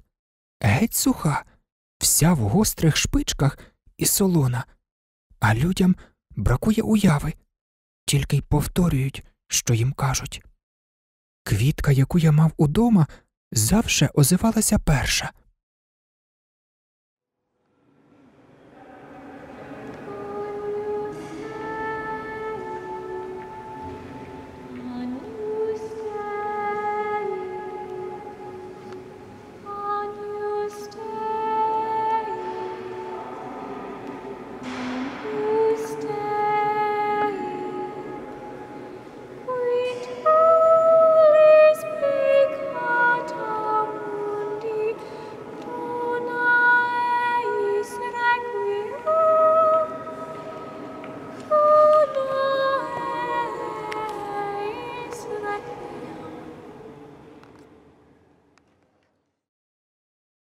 20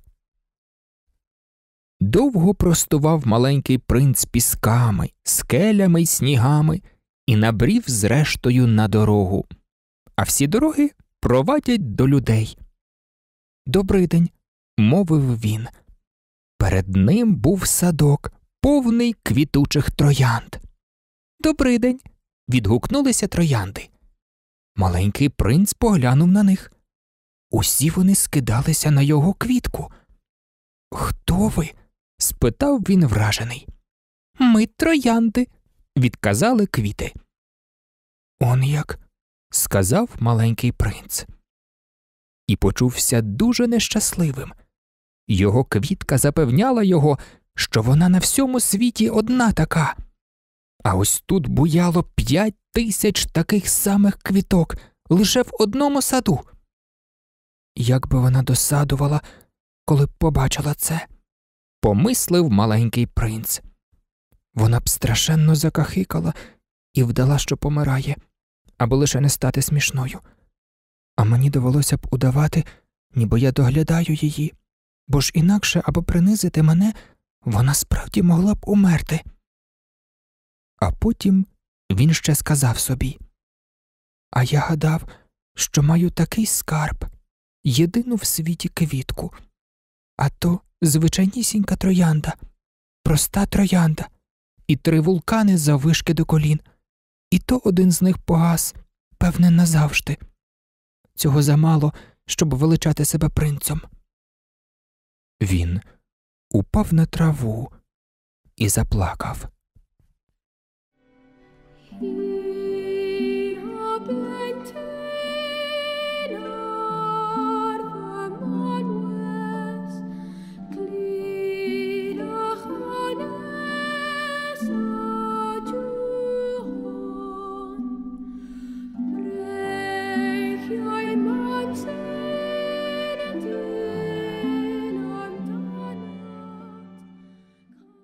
21.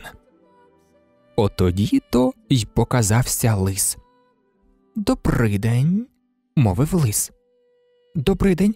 Звичайненько відказав маленький принц і озирнувся, та нікого не побачив. Ось дечки я, озвався голос. Під яблунею. Хто ти? спитав маленький принц. Ти такий гарний? Я лис, відповів той. Пограйся зі мною, попрохав маленький принц. Мені так журно. Я не можу з тобою гратися, мовив лис. Я не приручений. О, даруй, сказав маленький принц. Але подумав і додав А що означає приручити? Ти не тутешній, сказав лис. Що ти тут шукаєш? Шукаю людей, відповів маленький принц. А що означає приручати? Люди, мовив лис, мають рушниці і ходять на лови. Це так ускладнює життя, а ще вони розводять курей. То єдина користь від людей. Ти шукаєш курей? Ні, сказав маленький принц. Я шукаю приятелів. А що означає приручати? Це поняття давно забуте, мовив лис. Воно означає прихилити до себе. Прихилити до себе? «А вже ж», – мовив лис. Ти для мене поки що лише маленький хлопчик, достоту такий, як сто тисяч інших. І ти мені не потрібний. І я тобі теж не потрібний. Я для тебе всього тільки лис, достоту як сто тисяч інших лисів. Та як ти мене приручиш, ми станемо потрібні одне одному. Ти будеш для мене єдиний на цілім світі, і я буду для тебе єдиний на цілім світі. Я вже трошки розумію, проказав маленький принц. Є одна троянда. Мабуть, вона мене приручила. Цілком можливо, відповів лис. На землі чого тільки не побачиш. О, це не на землі, заперечив маленький принц. Лис нібито дуже здивувався. На іншій планеті? Так. А мисливці є на тій планеті? Нема. І як цікаво, а кури є? Нема. Ех, світ недосконалий, зітхнув лис. А потім знову повернувся до того самого. Одноманітне в мене життя, я полюю на курей, а люди полюють на мене. Всі кури однакові, і люди всі однакові. Я нуджусь. Але як ти мене приручиш, моє життя буде ніби сонцем осяяне, і я знатиму твою ходу і розрізнятиму її серед усіх інших. Почувши чиїсь кроки, я ховаюся в нору. Зате твоя хода, як музика, викличе мене з нори. А потім дивись, бачиш, он там, на ланах, достигає пшениця. Я не їм хліба, збіжжя мені ні до чого. Пшеничні лани не ваблять мене. І це сумно, але в тебе чуб ніби золотий. Як добре буде, якщо ти мене приручиш. Золоте збіжжя нагадуватиме мені про тебе, і я полюблю шелест колосся на вітрі. Лис замовк і довго глядів на маленького принца, а потім попросив знову Будь ласка, приручи мене. Я б радо, відмовив маленький принц. Але у мене обмаль часу. Мені ще треба знайти приятелів і узнати багато всяких речей. Узнати можна лише те, що приручиш, мовив лис. Людям дуже бракує часу щось узнавати. Вони купують готові речі в торгівців, але ж немає таких торгівців, що продавали приятелів. І тимто люди не мають приятелів. Як хочеш мати приятеля, приручи мене. А що для цього треба зробити? спитав маленький принц. Треба бути дуже терплячим, відказав лис. Спершу ти сядеш трошки далі від мене на траву, ось так. Я краєчком ока позиратиму на тебе, дивитимусь, а ти мовчатимеш. Мова це джерело непорозуміння, але щодня ти сідатимеш трошки ближче. Назавтра маленький принц прийшов знову. Краще, якби ти приходив о тій самій порі. Попросив лис якщо ти прийдеш, скажімо, о четвертій дня, то я вже з третьої години відчуватиму себе щасливим. О четвертій я вже почну хвилюватися і непокоїтися. Я узнаю ціну щастю. А як ти приходитимеш, коли попало, то я ніколи не знатиму, на котру годину готувати своє серце. Повинні бути обряди. А що таке обряд? поцікавився маленький принц. Це теж річ давно забута, розтлумачив лис. Це те, що робить один день не схожим на інші дні, одну годину на всі інші години. Є, приміром, такий обряд у двох мисливців. У четвер вони танцюють з сільськими дівчатами. І який же це чудовий день, четвер. Я йду на прогулянку і доходжу аж до виноградника. А якби мисливці танцювали коли попало, то дні скидалися б один на одний, і я зовсім не мав би дозвілля. Так маленький принц приручив лиса. І коли настала пора прощатися, лис сказав О, я плакатиму по тобі. Сам винний, мовив маленький принц. Я ж не хотів тобі нічого лихого, а ти зажадав, щоб я тебе приручив. «А вже ж!» – згодився лис. Але ж ти плакатимеш, мовив маленький принц. Виходить, ти нічого не виграв? Виграв, заперечив лис. Згадай, що я казав про золоте збіжжя. Він замовк, потім додав Піди ще поглянь на троянди. Ти зрозумієш, що твоя троянда єдина на світі, а як вернешся попрощатися зі мною, я подарую тобі одну таємницю. Маленький принц пішов глянути на троянди. Ви ні трохи не схожі на мою троянду, мовив він їм. Ви ще ніщо, ніхто вас не приручив, і ви нікого не приручили.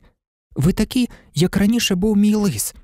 Він нічим не різнився від ста тисяч інших лисів. Але я з ним заприятелював, і нині він єдиний у цілому світі. Троянди дуже зніяковіли. Ви дуже гарні, але порожні, сказав іще маленький принц. Задля вас не схочеться померти. Звісно, випадковий перехожий і про мою троянду подумає, що вона така сама, як ви, але вона одна єдина, над усе найдорожча. Я бо полив її, я бо накрив її скляним ковпаком, я бо затулив її ширмою, я бо нищив задля неї гусінь, лишив тільки двох чи трьох, щоб повиводились метелики. Я чув, як вона нарікала, і як хвалилась, і навіть як замовкала. Троянда ця моя. І маленький принц повернувся до лиса. Прощавай, мовив він. Прощавай, відповів лис. Ось моя таємниця. Вона дуже проста.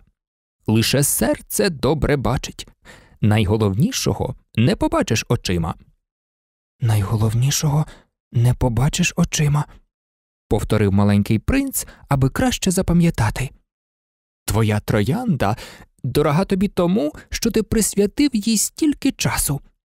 Моя троянда дорога мені, повторив маленький принц, аби краще запам'ятати. Люди забули цю істину, мовив лис. Але ти не забувай. Ти назавжди береш на себе відповідальність за тих, кого приручив. Ти відповідаєш за свою троянду. Я відповідаю за свою троянду, повторив маленький принц, аби краще запам'ятати.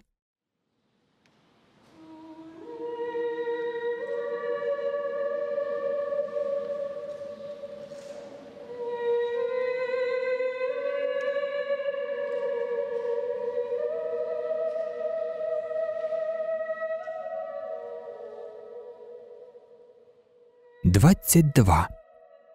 Добрий день, мовив маленький принц. Е, добрий день. Озвався стрілочник. Що ти тут робиш?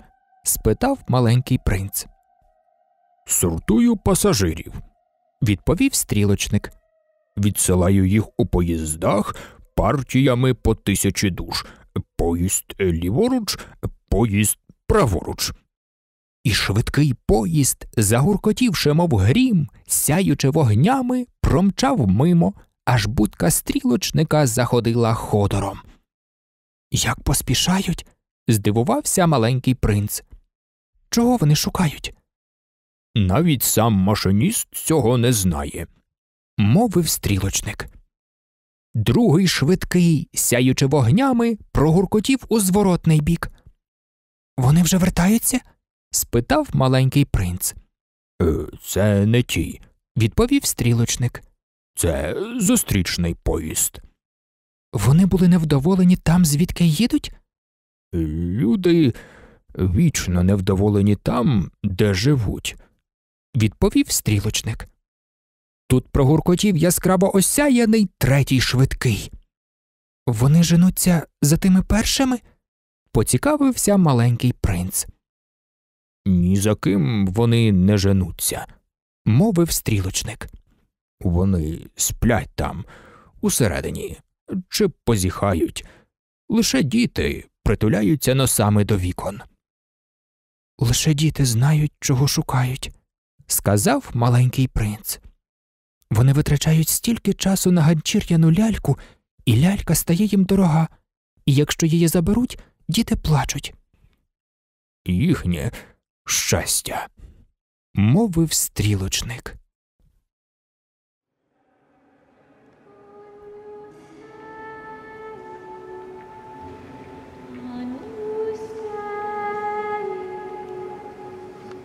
Agnus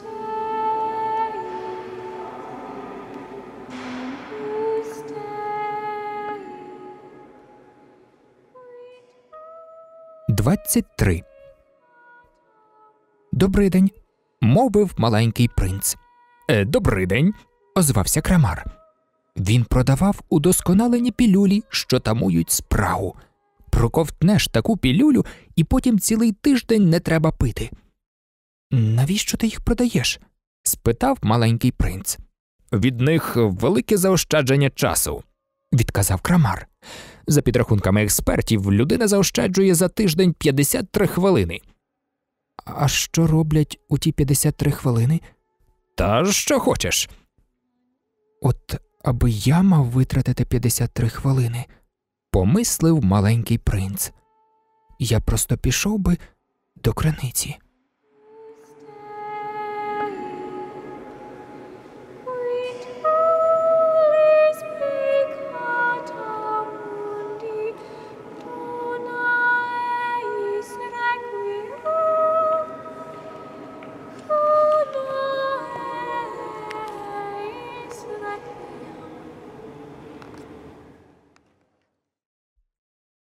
24. Збіг тиждень із дня моєї вимушеної посадки, і, слухаючи розповідь про крамаря з пілюлями, я випив останній ковток води. Ох, сказав я маленькому принцові.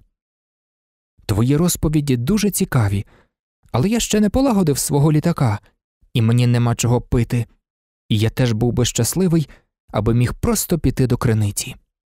Мій приятель лис, почав він. Хлопче, мені вже не до лиса. Чому?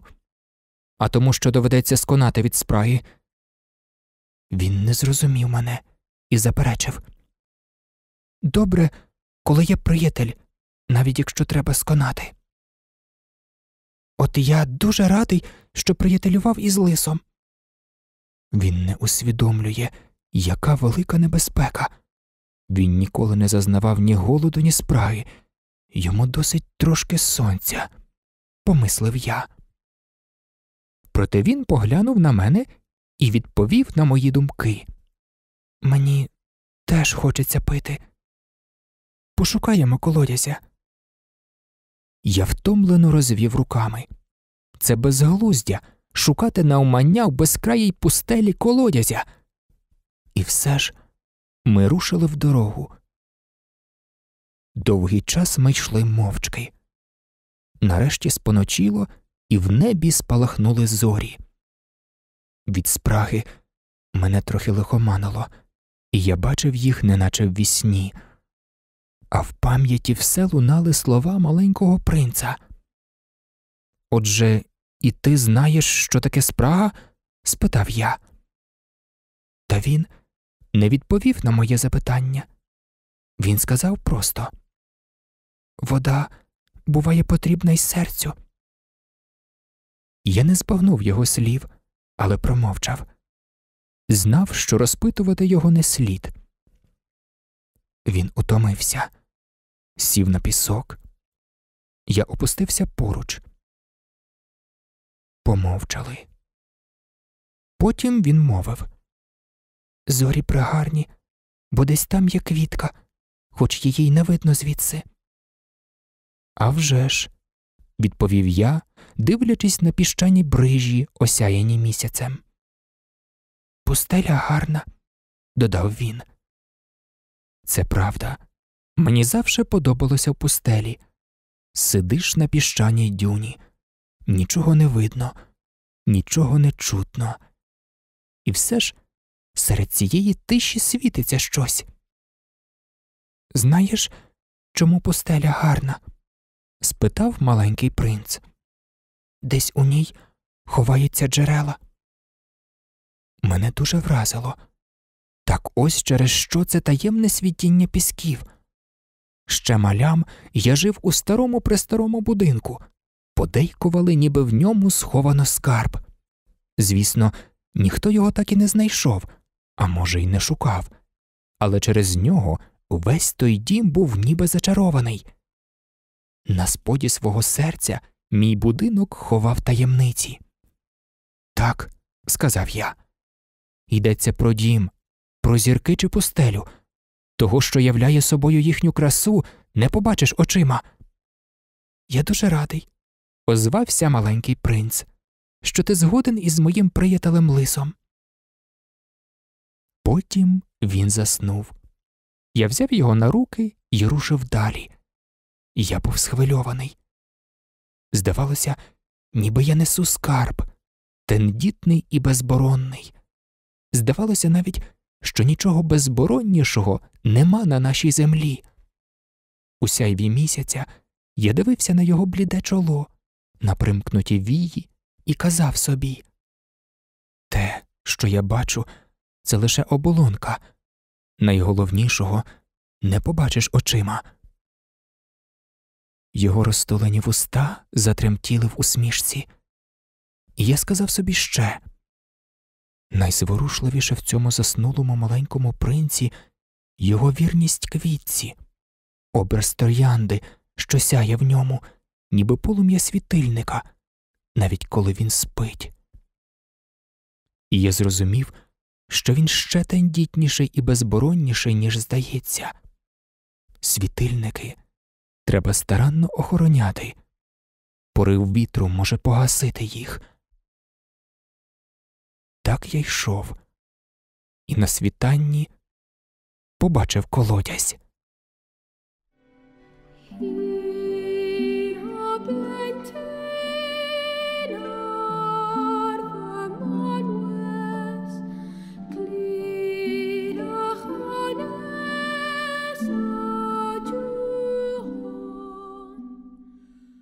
25. Люди набиваються в швидкі поїзди, але вони вже не відають, чого шукають, мовив маленький принц. Тому метушаться і снують туди-сюди. І додав І це все даремно. Колодязь, до якого ми прийшли, був не такий, як усі колодязі в Сахарі. Звичайно, тут колодязь просто яма в піску, а цей скидався на справжній сільський колодязь. Але поблизу не було жодного села, і я подумав, що це сон. От чудосія, сказав я маленькому принцові. Тут усе наготовлено і корба, і цебро, і мотузка. Він засміявся, торкнув мотущину, почав крутити корбу. І корба зарипіла, як старий флюгер, що довго і ржавів у безвітрі. Чуєш? мовив маленький принц. Ми збудили колодязь, і він співає. Я боявся, що він утомиться. Я сам витягну, сказав я. Тобі це не до снаги. Повільно витяг я повне цебро і поставив його на кам'янеця мриння. У вухах ще бринів спів корби. Вода в цебрі ще тремтіла, і в ній бігали зайчики. Мені хочеться цієї води, сказав маленький принц. Дай напитись. Я зрозумів, чого він шукав. Я підніс цебро до його вуст. Він пив, заплющивши очі. Було гарно, як на бенкеті. Була то незвичайна вода.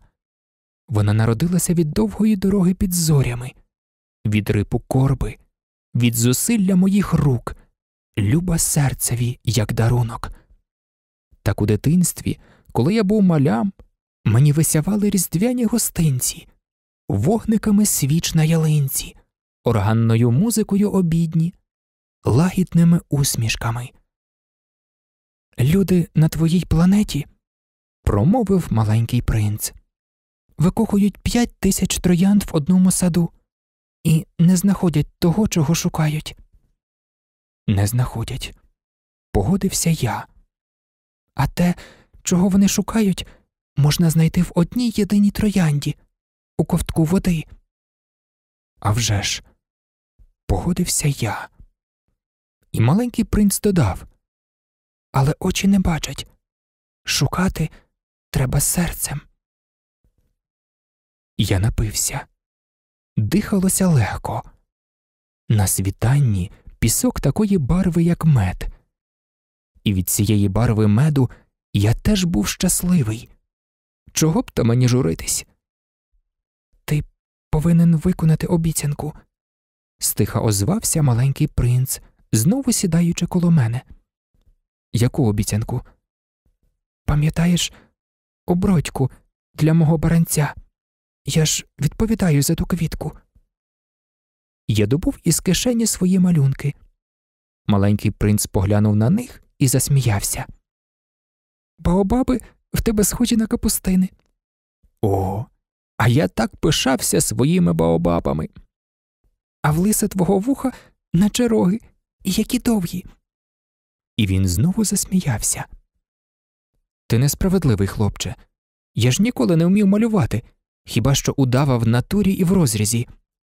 Ні, дарма. Заспокоїв він мене. Діти й так знають. Я намалював обродьку для баранця, віддав малюнок, і серце в мене стислося. Ти щось надумав, а я не знаю. Та він не відповів.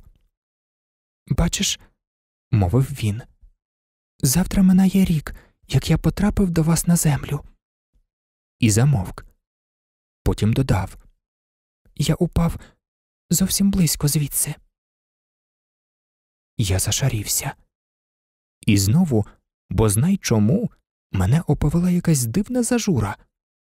Все таки я спитав Отже, не випадково тиждень тому, того ранку, коли ми познайомилися, ти блукав тут самотою за тридев'ять земель від людського житла.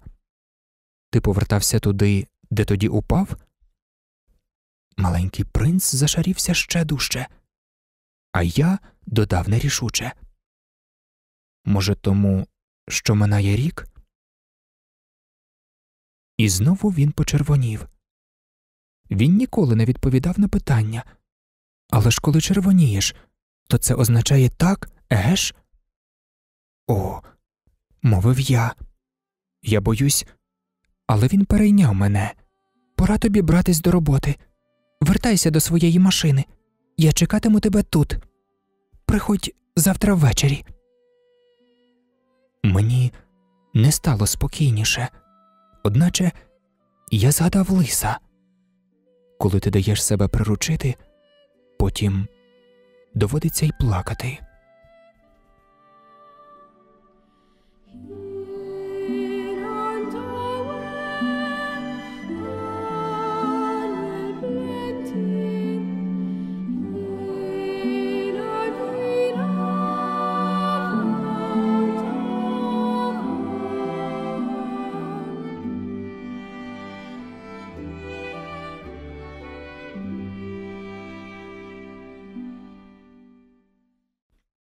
26.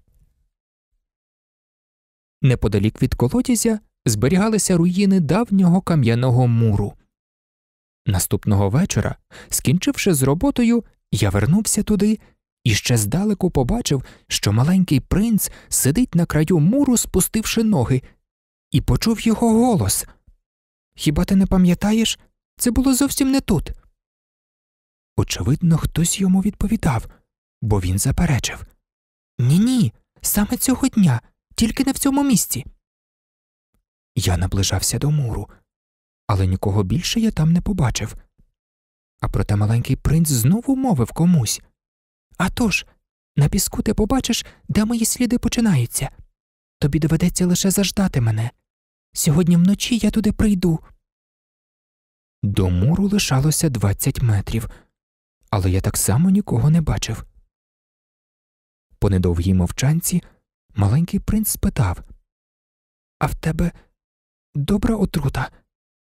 Ти певна, що я недовго мучитимусь? Я зупинився, і серце мені стислося, але я досі ще нічого не розумів. Тепер іди, мовив маленький принц. Я хочу стрибнути вниз. Тоді я опустив очі і аж підскочив. Під муром, звівши голову до маленького принца, згорнулась жовта гадючка, від укусу якої людина гине за 30 секунд. Намацуючи в кишені револьвера, я бігом кинувся до неї, але, почувши шурхіт моїх кроків, гадюка тихо, мов змешенілий ручай, заструмувала по піску і з ледь чутним металевим дзвоном заповзла поміж каміння. Я підбіг до муру саме вчасно, щоб підхопити на руки маленького принца, білого, мов сніг. Що за витівки? Ти вже забалакуєш із гадюками? Я розв'язав золотого шарфа, який він постійно носив, змочив йому скроні і відпоїв водою. але я не зважувався більше ні про що розпитувати.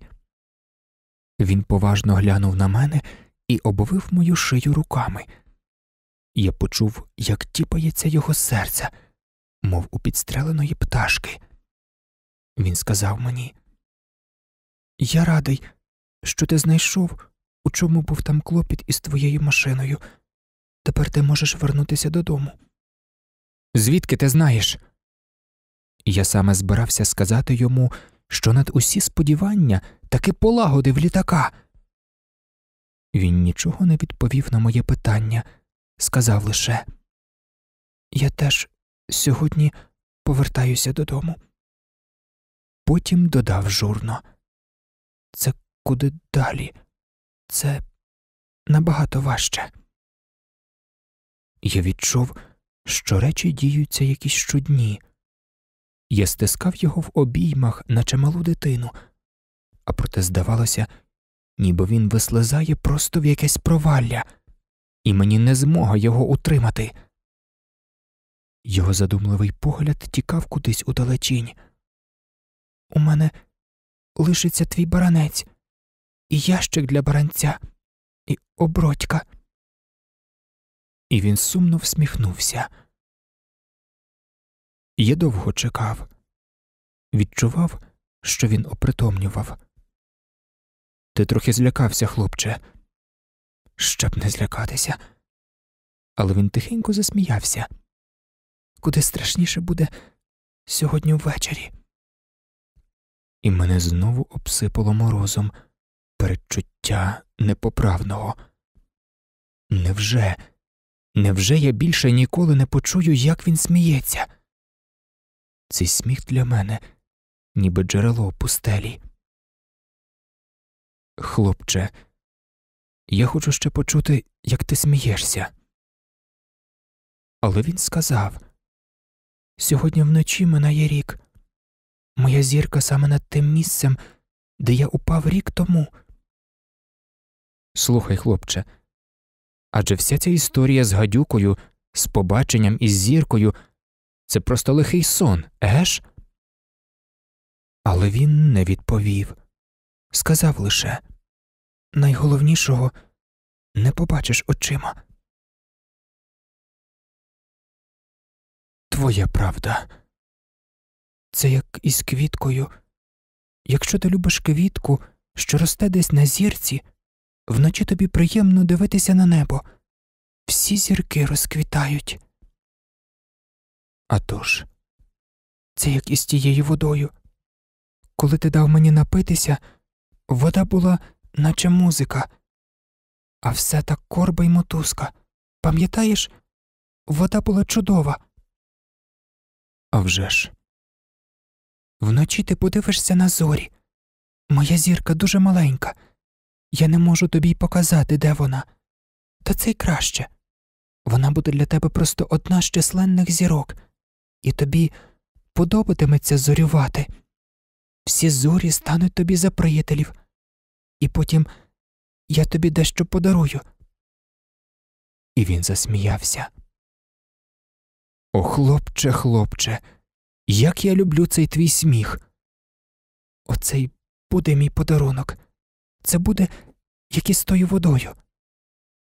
Що ти хочеш сказати? У кожної людини свої зорі. Для одних, тих, хто подорожує, вони дороговказ. Для інших це просто маленькі вогники, для вчених зірки наукова загадка, для мого ділка вони золоті, але всі ці зорі німі. А ти матимеш такі зірки, яких більше ні в кого немає. Як це розуміти? Я житиму на одній із зірок, я там сміятимусь, і коли ти подивишся вночі на небо, це буде так, наче всі зорі сміються. Ти матимеш зорі, що вміють сміятися. І він сам засміявся. І коли ти втішишся, а втіха таки приходить, ти будеш радий, що познайомився зі мною. Ти завжди будеш моїм другом. Тобі захочеться посміятися зі мною. Тоді ти відчиниш вікно, і тобі буде приємно. І твої приятелі будуть неабияк здивовані, що ти смієшся, дивлячись на небо, а ти їм скажеш так, так, зорі завжди викликають у мене охоту сміятися, і вони подумають, що ти не сповна розуму. Ось яку капость я тобі втну. І він знову засміявся. Це буде так, наче замість зірок я дав тобі безліч дзвіночків, що вміють сміятися. І він знову засміявся. Потім знову споважнів. Знаєш, сьогодні вночі краще не приходь. Я тебе не залишу. Я матиму такий вигляд, наче мені зле, наче я вмираю. Так уже воно буває. Не треба, щоб ти це бачив. Я не залишу тебе. Однак він був заклопотаний. Я кажу тобі це і через гадюку. Не треба, щоб вона тебе вжалила. Гадюки ж злі. Когось ужалити для них утіха. Я тебе не залишу. Щось його заспокоїло. Правда, на другий укус отрути в неї не вистачить. Тої ночі я не помітив, як він пішов. Він тихо вислизнув. Коли я наздогнав його, він ішов прутко рішуче.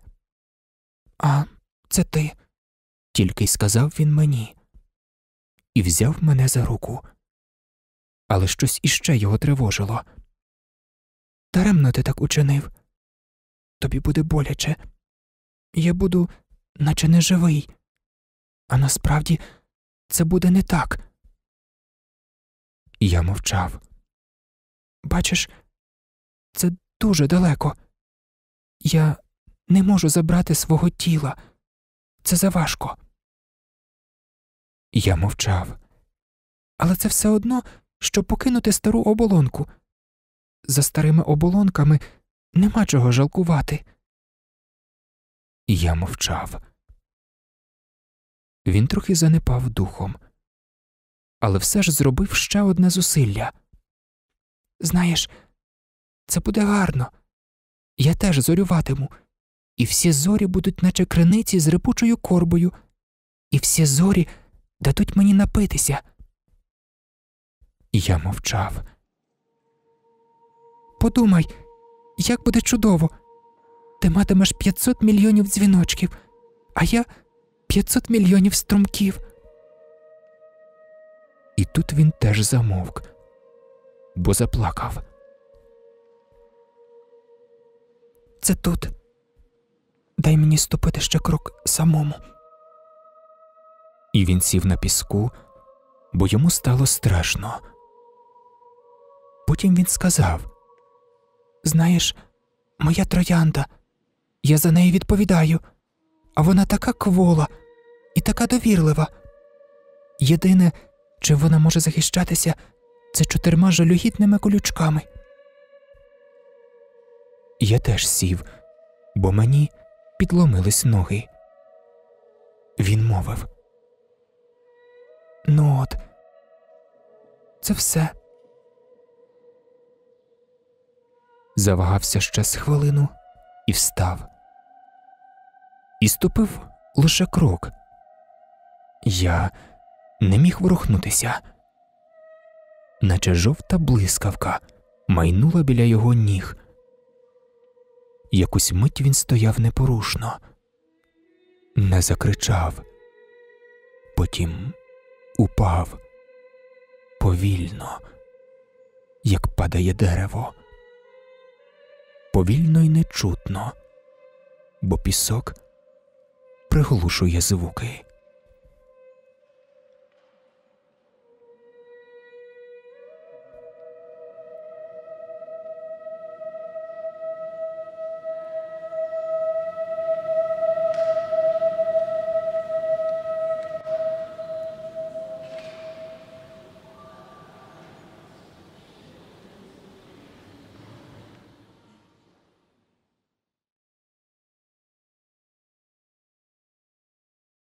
Двадцять сім. І от збігло вже шість років. Я ще нікому не розповідав цієї історії. Коли я повернувся, товариші були раді, що знову бачать мене живого і здорового. Важко було в мене на душі, але я сказав їм це просто втома. І все ж потроху я заспокоївся, тобто не цілком. Але я добре знаю, він на свою планетку повернувся, бо коли розвидніло, я не знайшов на піску його тіла. Воно було не таке вже й важке. А ночами я люблю слухати зорі, немов 500 мільйонів дзвіночків. Але ось що дивовижно в обродці, намальованій для принцевого баранця, я забув намалювати ремінець. Маленький принц ніколи не зможе надіти її на баранця. І я питаю себе, що ж коїться там, на його планетці? Що як баранець з'їв троянду? Іноді я кажу собі ні, звичайно, ні. Маленький принц на ніч прикриває троянду скляним ковпаком і пильно стежить за своїм баранцем. Тоді я щасливий, і всі зорі тихенько сміються. А часом кажу собі іноді трапляється, буваєш неуважний, тоді все може статися. Що як він якось увечері забув про скляний ковпак, або вночі викрався баранець на волю, і тоді всі дзвіночки мов би, плачуть. Усе це загадкове і незбагненне. Для вас, тих, хто теж полюбив маленького принца, як і для мене, світ стане інший, коли десь, невідомо де, баранець, що його ми ніколи не бачили, можливо, з'їв троянду. Погляньте на небо і спитайте себе є ще та квітка, чи нема її? Може, баранець її з'їв? І ви побачите, як усе змінюється. І жоден дорослий не зрозуміє, як це важливо.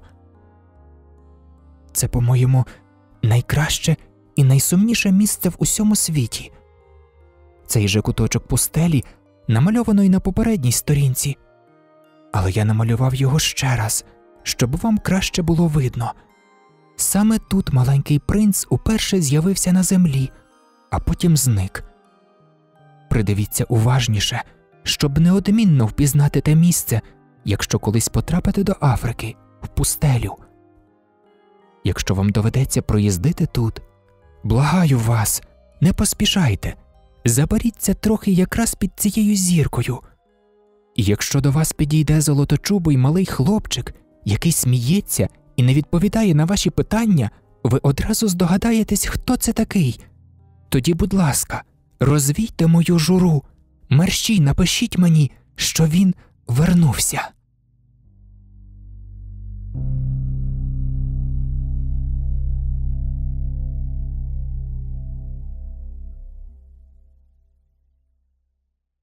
Кінець казки Антуана де Сент-Екзюпері Маленький принц. Для вас і для малих пінгвінів читав характерник. Якщо вам подобаються мої аудіокниги, можете підписатися на канал із ними на Ютубі.